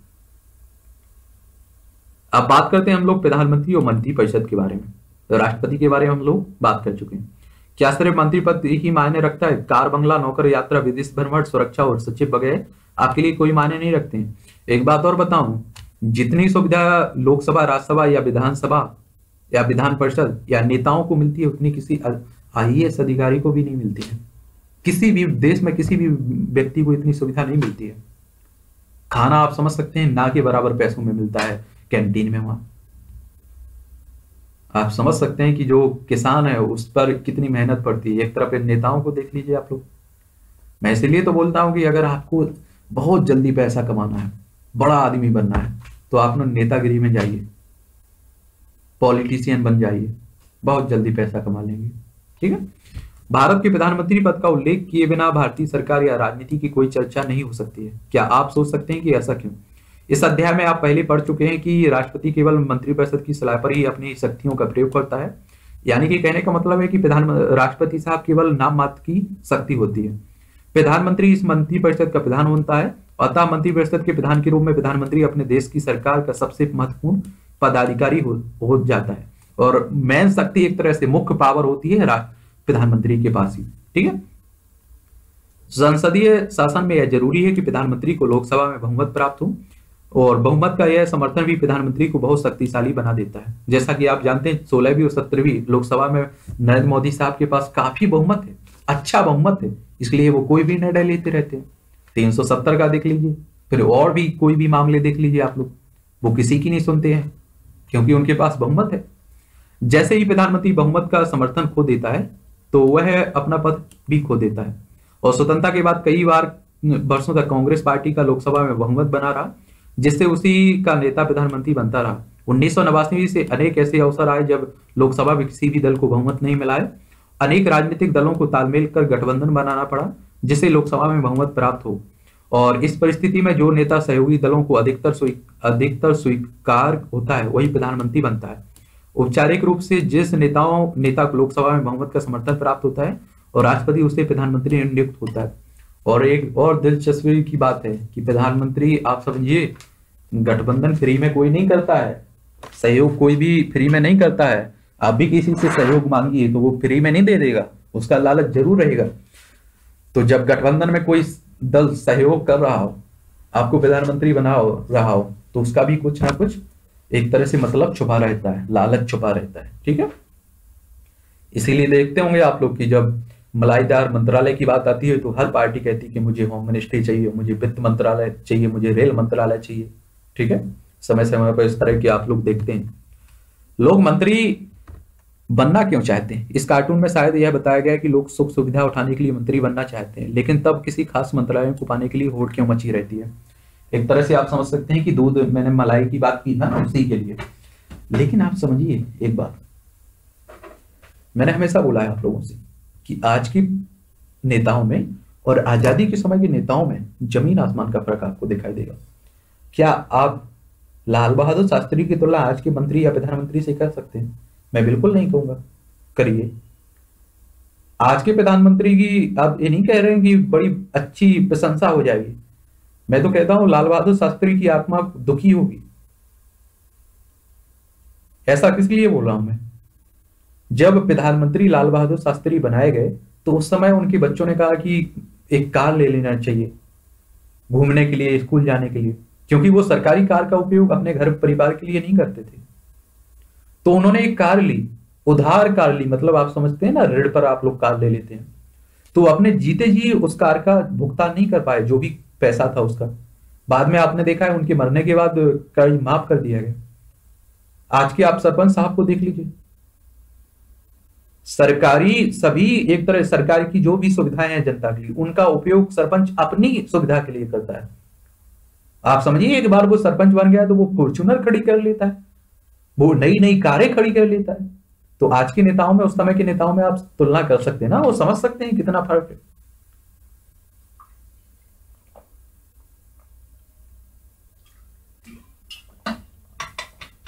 आप सभी जानते हैं कि उस समय खाद्यान्न की कितनी कमी थी देश में?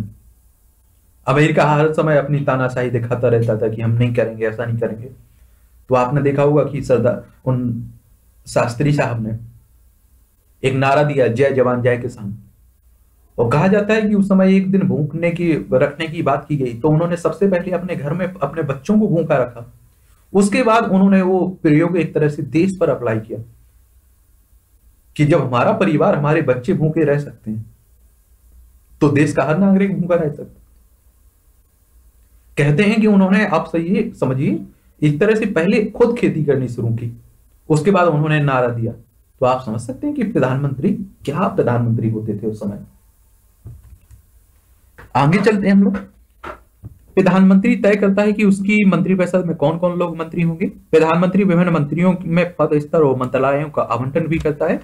मंत्रियों को उनकी वरिष्ठता और राजनीतिक महत्व के अनुसार मंत्रिमंडल का मंत्री राज्य या उप मंत्री बनाया जाता है।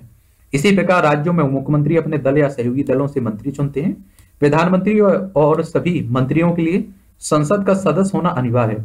संसद का सदस्य हुए बिना यदि कोई व्यक्ति मंत्री या प्रधानमंत्री बन जाता है तो उसे छह महीने के भीतर ही संसद के सदस्य के रूप में निर्वाचित होना पड़ता है। मैंने पहले भी आप लोगों से बोला है। आप लोगों को याद है? मैंने क्या कहा था? कि आप भी मुख्यमंत्री या कोई मंत्री बन सकते हैं।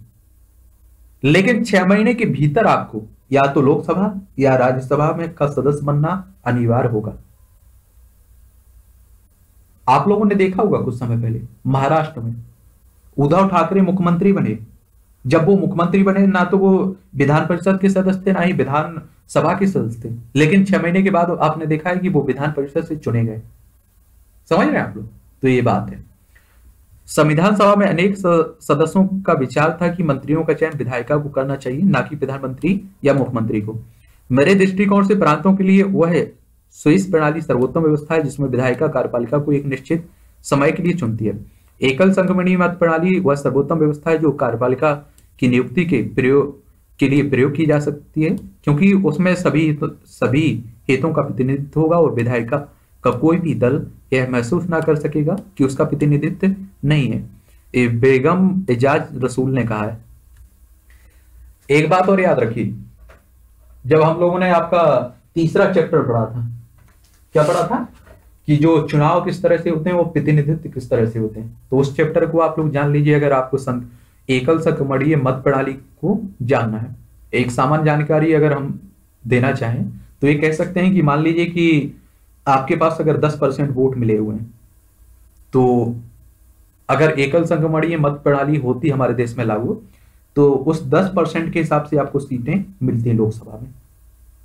लोकसभा चुनाव में अगर आपको 10 परसेंट वोट मिले हुए हैं टोटल तो आपके पास 10 परसेंट सीटें होती हैं। अभी आप देखते हैं कि अगर आपको 10 परसेंट कई कई राजनीतिक दल हैं, जिन्हें 10 परसेंट भी वोट मिल जाते हैं, फिर भी सीटें ज़ीरो रहती हैं उनकी। ठीक है? तो अभी आपके देश में, हमारे देश में क्या लागू है? कि सबसे ज़्यादा जिस उम्मीदवार को वोट मिल रहे हैं, उसी को जिता दिया जाता है। दूसरे को कितने मिल रहे हैं, कितने नहीं मिल रहे हैं, ये मायने नहीं रखता है। और ये भी मायने नहीं रखता है कि आपको पचास परसेंट से वोट मिल रहा है, पचास परसेंट से ज़्यादा वोट मिल रहे हैं, तभी आप चुने जाएँगे। ऐसा भी कुछ नहीं है।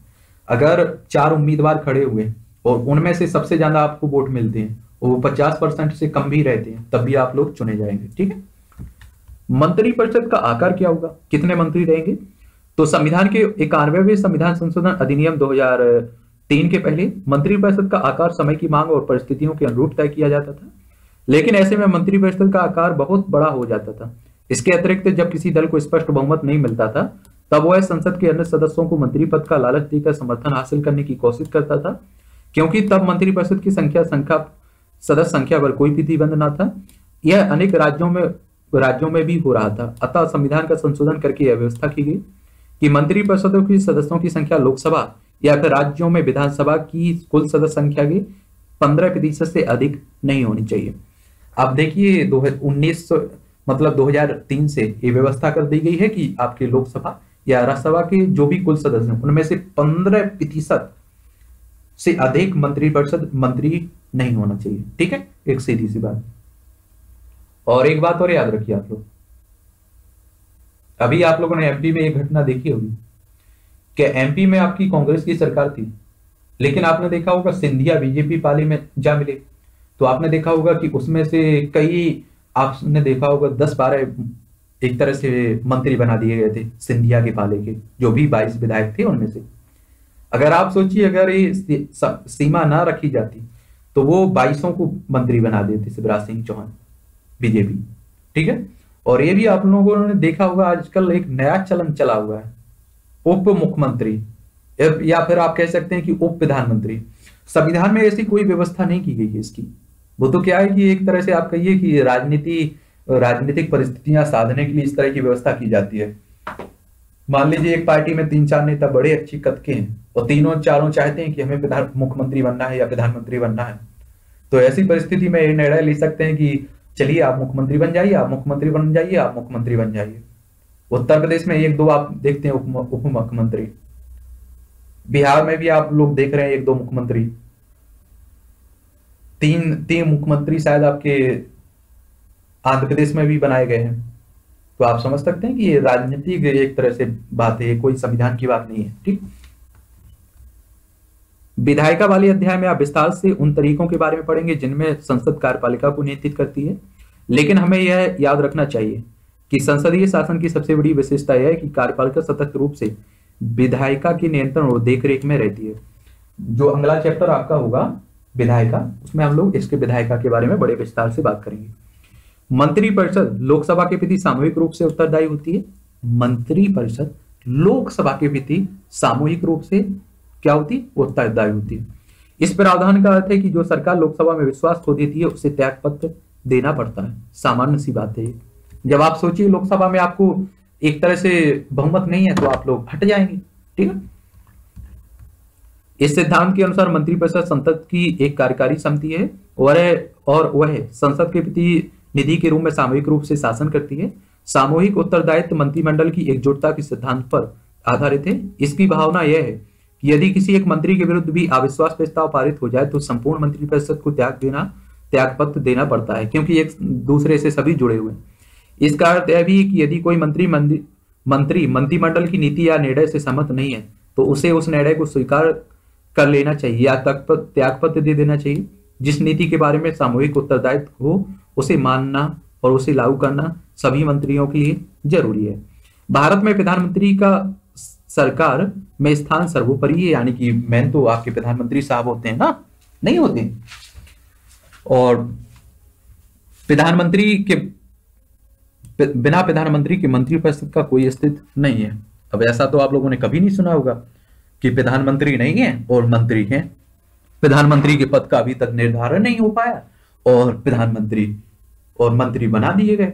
या फिर आप राज्यों में देख सकते हैं कि मुख्यमंत्री बने नहीं। अभी मुख्यमंत्री का निर्धारण नहीं हुआ और आपके उप मुख्यमंत्री या मंत्री बना दिए गए। ऐसा नहीं होता ना। तो बिना प्रधानमंत्री के मंत्री परिषद का कोई मतलब नहीं है। पहले आपने देखा होगा प्रधानमंत्री बनते हैं। प्रधानमंत्री की सलाह पर मंत्रिमंडल गठन होता है। ठीक है?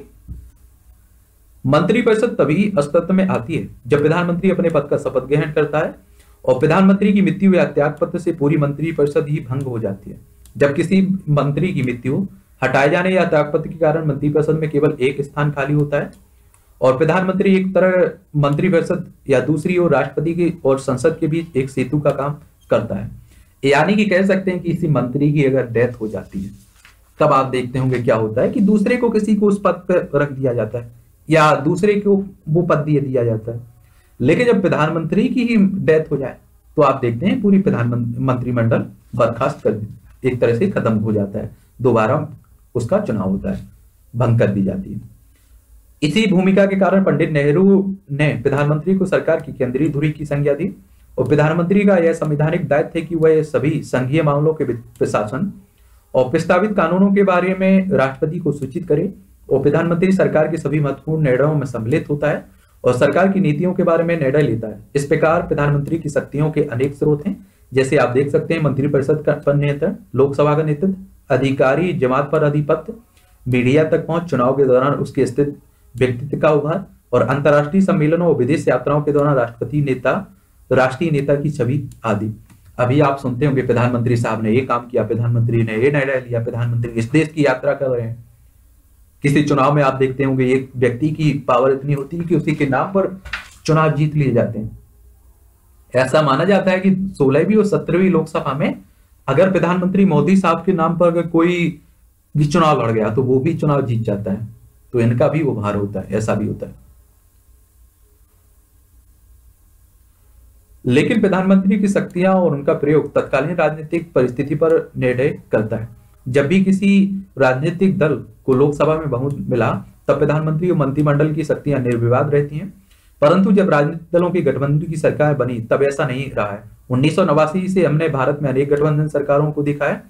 इनमें से कई सरकारें लोकसभा की पूरी अवधि के लिए सत्ता में न रह सकी। बहुमत समाप्त होने के कारण उन्होंने त्याग पत्र दे दिया या भी हटा दी गए। इन घटनाओं से संसदीय शासन का कामकाज प्रभावित हुआ है।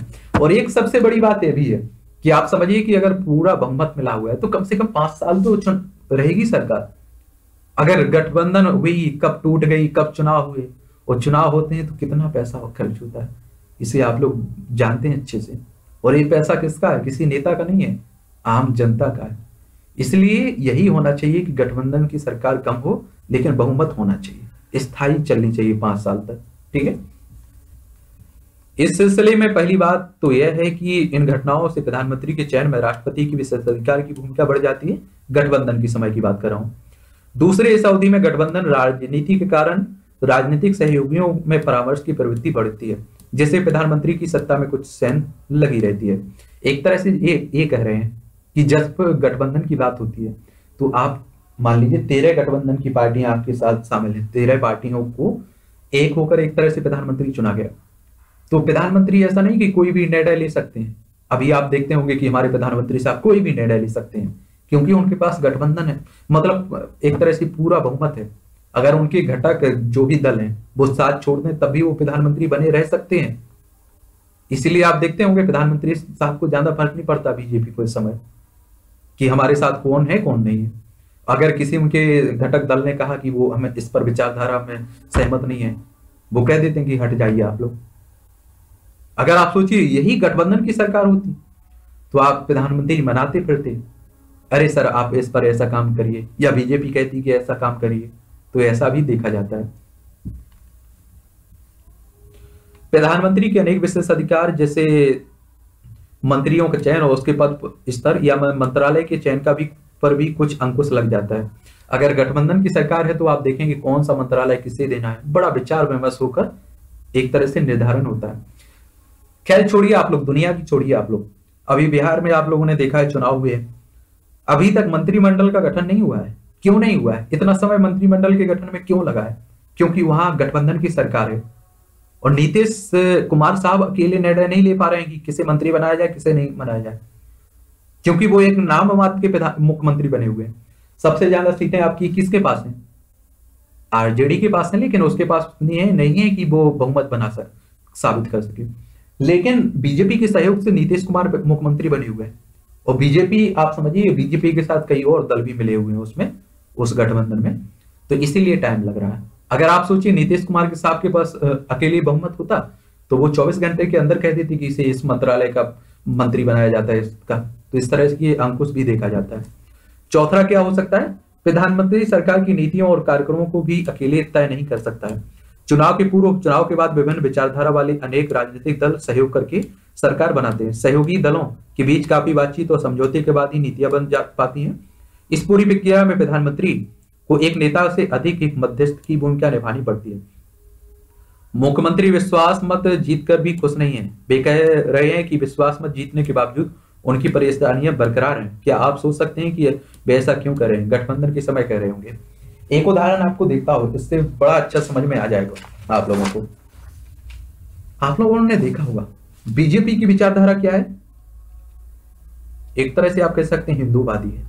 उसने हमेशा कहा है कि राम मंदिर को मैं बनाऊँगा, और उसने ये भी कहा है कि हम 370 भी हटाएँगे। आप समझ रहे लेकिन आपने देखा होगा जब गठबंधन की बात आई, जब गठबंधन की सरकारें चल रही थी, तब इस तरह के निर्णय नहीं लिए जा लिए जा पाए कि 370 हटाया गया हो। अटल बिहारी वाजपेयी के समय आप लोगों ने नहीं देखा है। लेकिन प्रधानमंत्री साहब के पास जब अपनी बहुमत हुई, अकेले दम पर, तब उन्होंने 370 को हटा दिया है आर्टिकल को। जम्मू कश्मीर की बात कर रहा हूँ मैं। तो आप समझ सकते हैं कि गठबंधन में कितना एक तरह से पाबंदी रहती है। आप समझ रहे हैं? यही है। तो इन सबको पॉइंटों को आप लोग याद रखिए। जब भी गठबंधन की बात आती है, कहीं पॉइंट लिखने के लिए आते हैं तो इनको आप लोग लिख सकते हैं या बता सकते हैं। कुछ एक बदलाव के साथ राज्यों में भी ठीक इसी तरह की लोकतांत्रिक कार्यपालिका होती है।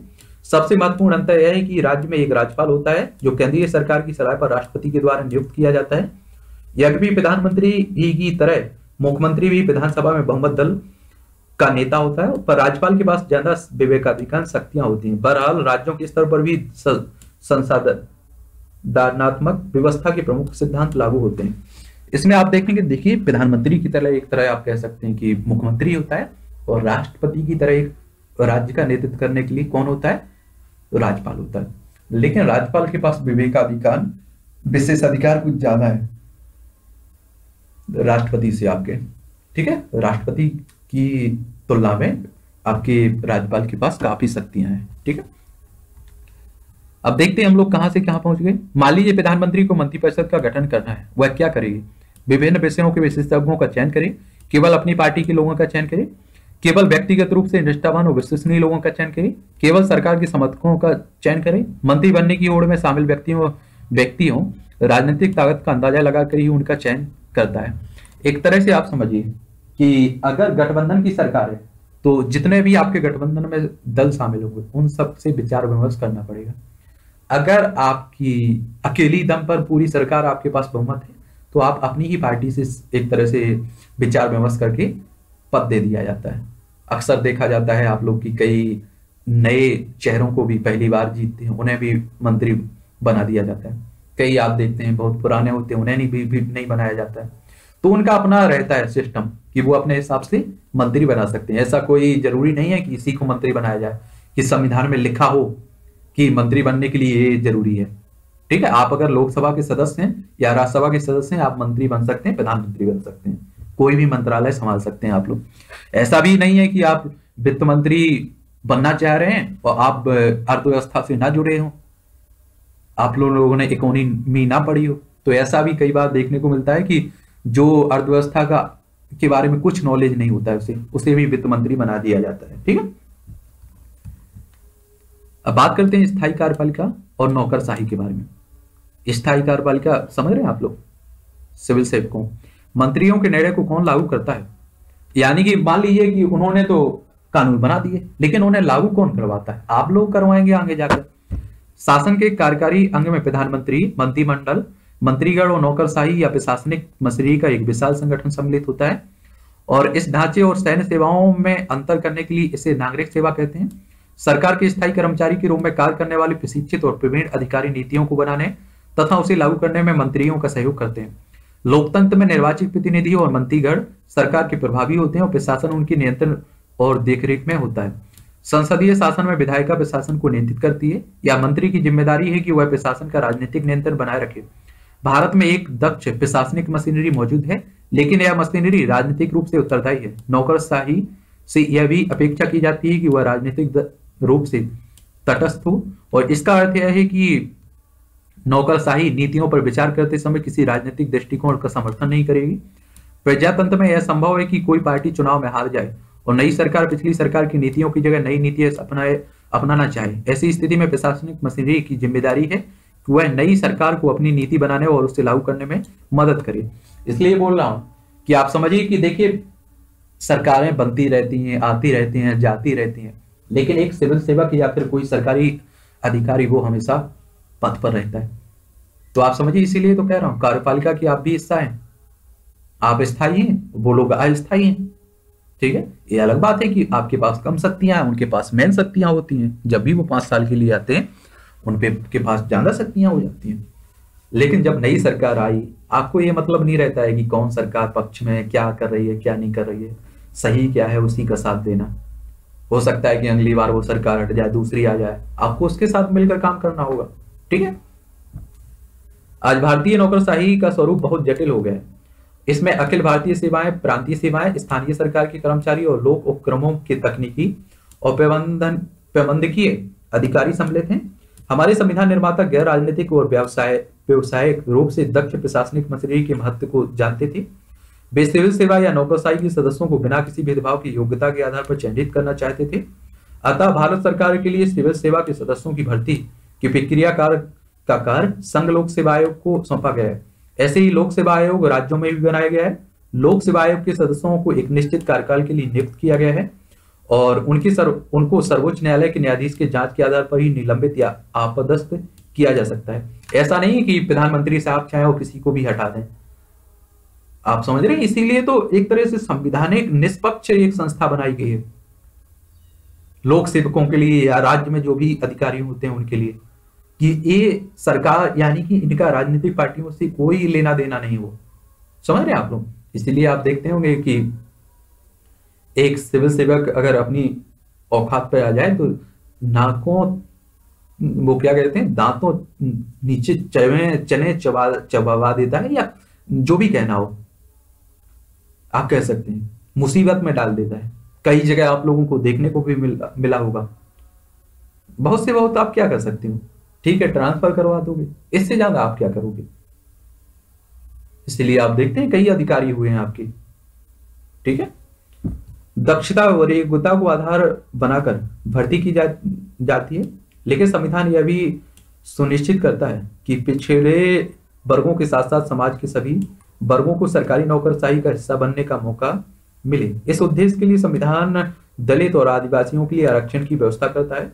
बाद में महिलाओं और अन्य पिछड़ी जातियों को भी आरक्षण दिया जाता है और इन प्रावधानों से यह सुनिश्चित होता है कि नौकरशाही में सभी समूहों का प्रतिनिधित्व होगा और सामाजिक असमानताएँ सिविल सेवा में भर्ती के मार्ग में रोड़ा नहीं बढ़ेगी, यानी कि सबको बराबर माना जाता है।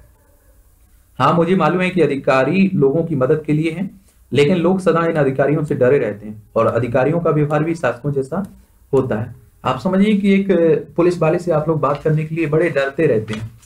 लेकिन हकीकत ये है बैंक में आप जाते हैं तो लाइन में लगे रहते हैं। अधिकारी कह देता है कि, सर, वो, अरे, वो सर्वर खराब हो गए, ये हो गया खराब, वो हो गया खराब। और आप डरे शर्मे से लौट जाते हैं वहाँ से। वो कोई एहसान नहीं कर रहे हैं आप पर। अगर पुलिस वाले आपकी मदद करने के लिए आगे बढ़ते हैं तो वो आप पर एहसान नहीं कर रहे हैं। उनका कर्तव्य है कि आपकी सेवा करना। वो आपके से, आपके एक तरह से नौकर हैं। समझ सकते हैं आप लोग? लेकिन ये अलग बात है कि हमारे देश में इस तरह की व्यवस्था नहीं देखी जाती है। अगर मैं कहता हूँ कि जो भी इस तरह के सेवक हैं और नौकर हैं इन दोनों के बीच अगर अच्छे से तालमेल बैठा रहे और दोनों अपने कर्तव्यों के प्रति एक तरह से जागरूक रहे मैं कहता हूँ कि नब्बे से पंचानवे परसेंट समस्याएँ खत्म हो जाएँगी। अभी आपने देखा होगा किसी महिला के साथ दुर्व्यवहार किया जाता है और कोई नेता है जिसकी अच्छी चलता है तो आप रिपोर्ट लिखवाने जाती है वो महिला तो उसके साथ दुर्व्यवहार वहाँ भी किया जाता है, थाने में भी। उसकी एफआईआर नहीं लिखी जाती है। आप समझ रहे हैं? तो ये भेदभाव देखा जाता है। अभी कोई गरीब है, उसके साथ कुछ भी मारपीट हो जाए, वो जाता है थाने में। बड़ा शर्मा मतलब डरा हुआ जाता है। वहाँ से लौटा भी दिया जाता है। तो आप समझ सकते हैं कि इतना मतलब व्यवस्था को मतलब ठीक करना चाहिए। आप देखते हैं कि पुलिस वाला, देखता हूँ, कई जगह देखता हूँ, इस तरह की व्यवस्था आप भी देखते रहते होंगे। कि जब आपने देखा होगा कि कोई नेता आता है, पुलिस वाले को गाली देकर चला जाता है, फिर आप अधिकारी, कोई भी अधिकारी है। लेकिन वही गुस्सा आप कहा निकालते हैं कोई रिक्शा वाला, ठेले वाला है, वो अपना जैसे तैसे काम चला रहा है जीवन गुजार रहा है, आप उस पर बरसने लगते हैं, उसे गाली सुनाने लगते हैं, उसका ठेला फेंक देते हैं, आप उसका सामान भी फेंक देते हैं तो एक हमेशा देखा है कि हमेशा ताकतवर व्यक्ति अपने से निचले पर अधिकार जमाने की कोशिश करता है, ना कि अपने से ऊपर। अगर दम है आप में तो आप उस नेता को अरेस्ट करिए। आप उसके बारे में कुछ भी करिए ना? आप गरीबों पर क्यों अत्याचार कर रहे हैं? कई जगह इस तरह का आपको भेदभाव देखने को मिल जाएगा, और देखते भी रहते होंगे। भारतीय प्रशासनिक सेवा तथा भारतीय पुलिस सेवा, यानी कि आईपीएस के लिए उम्मीदवारों का चयन संघलोक सेवा आयोग करता है। ये अधिकारी प्रांतीय स्तर पर शीर्षस्थ नौकरशाही की रीढ़ होते हैं। आपको शायद पता होता हो कि एक ज़िले का जिलाधिकारी, कलेक्टर उस ज़िले में सरकार का सबसे महत्वपूर्ण अधिकारी होता है। क्या आप जानते हैं कि जिलाधिकारी, सामान्यतः आई स्तर का अधिकारी होता है? वह केंद्र सरकार द्वारा बनाई गई सेवा शर्तों से नियंत्रित होता है।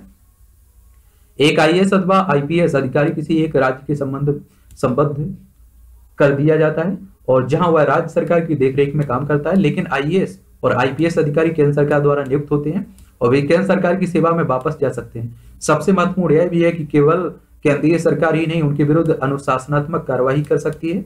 इसका अर्थ हुआ कि राज्यों के प्रमुख प्रशासनिक अधिकारी केंद्र सरकार की देखरेख और नियंत्रण में रहते हैं। संघ लोक सेवा आयोग द्वारा नियुक्त आईएएस और आईपीएस अधिकारियों के अतिरिक्त राज्य के प्रशासन में राज्य लोक सेवा आयोगों द्वारा नियुक्त की अधिकारी, अधिकारियों का भी योगदान होता है। जैसा कि हम आगे संघवाद वाले अध्याय में पढ़ेंगे कि नौकरशाही की यह विशेषता राज्यों के प्रशासन पर केंद्रीय सरकार के नियंत्रण को मज़बूत कर देती है। आप लोग देखते रहते हैं ट्रांसफ़र में क्या रहता है? सरकार के पास ये शक्ति है कि वो एक अधिकारी को कहीं भेज सकते हैं, कहीं से कहीं करवा सकते हैं। ठीक है? सिविल सेवाओं के वर्गीकरण की बात करें तो एक तो आप देखते हैं, अखिल भारतीय सेवाएँ और भारतीय प्रशासनिक सेवा, भारतीय पुलिस सेवा। दूसरा, केंद्रीय सेवाओं की बात करें तो भारतीय विदेश सेवा और भारतीय राजस्व सेवा। और अगर प्रांतीय सेवाओं की बात करें तो बिक्री कर अधिकारी, ठीक? स्टेट पीसीएस की बात कर रहा हूँ, जिसमें आप देखेंगे स्टेट के अधिकारी आ जाते हैं। आप स्टेट पीसीएस देते हैं ना? और आईएएस के लिए आपका संघलोक सेवा मैंने सेंट्रल में, ठीक है? नौकरशाही का वह माध्यम जिसके द्वारा सरकार की लोक लोक हितकारी नीतियाँ जनता तक पहुँचती हैं। पर नौकरशाही इतनी शक्तिशाली होती है कि आम आदमी सरकारी अधिकारियों तक पहुँच से डरता है। यह लोगों का आम अनुभव है कि नौकरशाही सामान्य नागरिकों की मांगों और आशाओं के प्रति संवेदनशील नहीं होती है। लेकिन जब लोकतांत्रिक ढंग से चुनी हुई सरकार नौकरशाही को नैतिक करती है, तब इनमें से कुछ समस्याओं को प्रभावी तरीके से हल किया जाता है। वहीं दूसरी ओर ज़्यादा राजनीतिक हस्तक्षेप में नौकरशाही राजनीतिकों के हाथ का खिलौना बन जाती है। हालाँकि संविधान ने भर्ती की एक स्वतंत्र मशीनरी बनाई, लेकिन अनेक लोगों का मानना है कि सरकारी कर्मचारियों को अपने कार्यों के संपादन में राजनीतिक हस्तक्षेप से बचाने की कोई व्यवस्था नहीं की गई। यह भी महसूस किया जाता है कि जनता के प्रति नौकरशाही का उत्तरदायित्व सुनिश्चित करने के लिए पर्याप्त प्रावधान नहीं है। मैंने बताया ना आप लोगों को राजनीतिक हस्तक्षेप होता है इनके। अब आप किसी स्टेट के मतलब आप सोचिए किसी ज़िले के कलेक्टर बना दिए गए। तो आप देखते होंगे कि आपका झुकाव राजनीतिक पार्टी की तरफ़ रहता है, इसमें कोई दोहरा नहीं है। डायरेक्ट ना कहिए, लेकिन इनडायरेक्ट तो आपको देखने को मिलेगा। मान लीजिए ऊपर से कोई योजना भेजा जा, भेजी जा रही है। राजीव गांधी और अटल बिहारी वाजपेयी ने एक बड़ी अच्छी कहावत कही थी कि मैं ऊपर से एक रुपया भेजता हूँ, नीचे बारह पैसे पहुँचते हैं। बीच का पैसा जाता कहाँ है? मैं इतना कहता हूँ कि ऊपर से अगर एक रुपया आ रहा है और नीचे के जो भी इस तरह के अधिकारी हैं, सिविल सेवक हैं, अगर वो अपना कर्तव्य अच्छे से निभाएँ तो एक का एक रुपया नीचे जनता, गरीब जनता तक पहुंचेगा, आम जनता तक एक रुपया पहुंचेगा। आप देखेंगे अभी सरपंच को चुन लिया जाता है। क्या काम आ रहा है, क्या नहीं आ रहा है, किसी को मालूम नहीं है। और जिनमें से आ रहा है, वो सरपंच साहब डका जाते हैं, सचिव साहब डका जाते हैं। मान लीजिए एक आपका जो भी एक तरह से तहसीलदार है। मान लीजिए सबसे छोटा इतना ही कहूँगा, या फिर आप लोग बीडीओ कह देते हैं, जैसे आप लोग सामानता कई राज्यों में इस तरह की व्यवस्थाएँ होती हैं। अगर वो अधिकारी हमेशा हर पंचायत का के बारे में जानता रहे कि कहाँ क्या व्यवस्था हो रही है तो आप समझिए कितना अच्छी सुविधा रहेगी। लेकिन आपने देखा होगा, तहसीलदार साहब अपने मज़े में रहते हैं, और सरपंच साहब अपने मज़े में रहते हैं, और सबका अपना अपना पहुँचता रहता है, टाइम टाइम टाइम पर माल, पानी। पर यह है। आशा की जाती है कि सूचना का अधिकार जैसे कदम नौकरशाही को और अधिक उत्तरदायित्व और संवेदनशील बना सकेंगे। ये सूचना का अधिकार एक तरह से इसीलिए लाया गया था कि मान लीजिए कि आपकी पंचायत है, वहाँ क्या काम आया है, आपके लिए क्या योजनाएँ आई हैं, इसके बारे में आपके पास जानकारी होनी चाहिए। तो आप इस सूचना के अधिकार का उपयोग भी करिए, इसके बारे में हम लोगों ने विस्तार से बात की हुई थी पहले। ठीक है? कि किस तरह से आप सूचना मांग सकते हैं, क्या फॉर्म किस तरह से आप लोग लिखेंगे। अगर आप बैंक में जाते हैं, आपका कोई काम नहीं हो रहा है तो आप उस पर भी सूचना मांगिए कि मेरा काम क्यों नहीं हो रहा है? आखिर कहाँ फंसा हुआ है? मैं बार बार कह रहा हूँ आप लोगों से कि जो आपको अधिकार मिले हुए हैं, इसके लिए कितनी मेहनत करनी पड़ी। कितने लोगों ने अपनी जान दी हुई है? कितने लोग इसके लिए शहीद हो गए हैं? कितनी यातनाएँ झेलने पड़ी हैं? कितनी मुसीबतों से गुजरना पड़ा है? इसका शायद आप अंदाज़ा नहीं लगा सकते हैं। और आपकी नज़रों में इसकी कीमत नहीं होती है। वो सही कहते हैं कि वो आसानी से मिली हुई कोई चीज़ की कीमत नहीं होती है। जब अपनी मेहनत पर, अपनी दम पर उसे लिया जाता है उस चीज़ को, तब मालूम चलता है कि इसमें कितनी मेहनत होती है। समझ रहे हैं आप लोग? लोकपाल आपको मिला हुआ है। तो इन सब का उपयोग किया करिएगा लास्ट में ये निष्कर्ष भी अच्छी बात है, बता दिया गया। आधुनिक कार्यपालिका सरकार की एक अत्यंत शक्तिशाली संस्था है। सभी प्रकार की सरकारों में सरकार के अन्य अंगों की अपेक्षा कार्यपालिका ज़्यादा शक्तिशाली होती है। और इससे कार्यपालिका पर लोकतांत्रिक नियंत्रण की आवश्यकता बढ़ जाती है। हमारे संविधान निर्माताओं की यह दूरदृष्टि ही थी। उन्होंने कार्यपालिका को विधायिका के अनियंत्रित नियंत्रण और देखरेख में रखा और इस प्रकार एक संसदीय कार्यपालिका का चयन किया गया है। समय समय पर होने वाले चुनाव व्यक्तियों के प्रयोग पर संविधानिक अंकुश और लोकतांत्रिक राजनीति ने यह सुनिश्चित किया है कि भारत में कार्यपालिका अनुत्तरदायी ना हो। आप समझिए कि एक बार राजा बन गया, अब वो ज़िंदगी भर जब तक रहेगा, बना रहेगा। चीन के राष्ट्रपति को आप लोग लिख सकते हैं। आप समझते होंगे कि मतलब एक बार तुम बन गए प्रधानमंत्री या राष्ट्रपति, उसके बाद हटने का कोई ऑप्शन ही नहीं है। तब आप तानाशाही दिखाएँगे, क्योंकि आप जनता के प्रति जवाबदेही नहीं है। यहाँ हमारे देश में देखेंगे आप लोग। मान लीजिए प्रधानमंत्री तानाशाही रवैया रखते हैं तो अगली पाँच साल बाद उन्हें हटा दिया जाएगा। कुछ नहीं उखाड़ पाएँगे। तो ये भी हमारे जो भी संविधान निर्माता थे, उन्होंने बड़ा सोच विचार किए। हम कह सकते हैं कि हमारी जो योग्यता है, उनके एक परसेंट के बराबर नहीं है। आप, उन्होंने संविधान जो लिखा, आज भी हम लोग एक तरह से उसी संविधान पर चल रहे हैं। आप समझिए, उस समय उन्होंने सोच लिया होगा कि इस तरह का दुरुपयोग किया जाएगा और इस तरह के हमें प्रावधान रखना चाहिए। यह भी आप लोग देख रहे होंगे कि आप समझिए कि हमारे भारत में कितनी रियासतें थी। सब अलग अलग होना चाह रही थी। अगर सभी को जोड़ के रखा हुआ है तो एक संविधान है हमारा। और राष्ट्रवाद का एक तरह से ज़रिया है हमारा। वरना आप समझिए एक बात को कि हमारे यहाँ आपको विभिन्न धर्म मिल जाएँगे, जातियाँ मिल जाएँगी, समूह मिल जाएँगे, कई भाषाएँ बोलने वाले मिल जाएँगे, फिर भी हम लोग एक एक कड़ी के रूप में जुड़े हुए हैं। जब हम लोग आज़ाद हो रहे थे उन्नीस सौ सैंतालीस की बात कर रहा हूँ मैं तो कई देशों के द्वारा कहा गया, कई लोगों के द्वारा कहा गया कि भारत के कई टुकड़े हो जाएँगे। और हकीकत भी थी, क्योंकि सभी रियासतों के अपने अपने उद्देश्य थे और अपने अपने अलग होने के चार चाहते थे। लेकिन फिर भी हम लोग एक हैं तो उसका एक तरह से कारण है संविधान। हो सकता है कि आपको प्रधानमंत्री पर भरोसा ना हो, लेकिन आपको अपने संविधान पर ज़रूर भरोसा होगा। ठीक है? तो संविधान आपको जोड़े हुए हैं। एक क्वेश्चन दिए गए इन्हें भी आप लोग याद रखिए और लगाते रहिएगा, पढ़ते रहिएगा। और इसकी पीडीएफ भी आपकी टेलीग्राम पर डाल दी थी। वहाँ से डाउनलोड कर लीजिए और रख लीजिए आप लोग। और अगर आपको खरीदना है तो खरीद लीजिए, बाज़ार से जहाँ भी मिलती हो। और अगर नहीं है सुविधा आपके पास तो इसे ही डाउनलोड करके पढ़ते रहिए। तो ये था आपका चौथा चैप्टर आगे बात करेंगे हम लोग विधायिका के बारे में। ये भी बहुत ही बहुत महत्वपूर्ण टॉपिक है आपका। तो चलिए मिलते हैं हम लोग अगले टॉपिक में।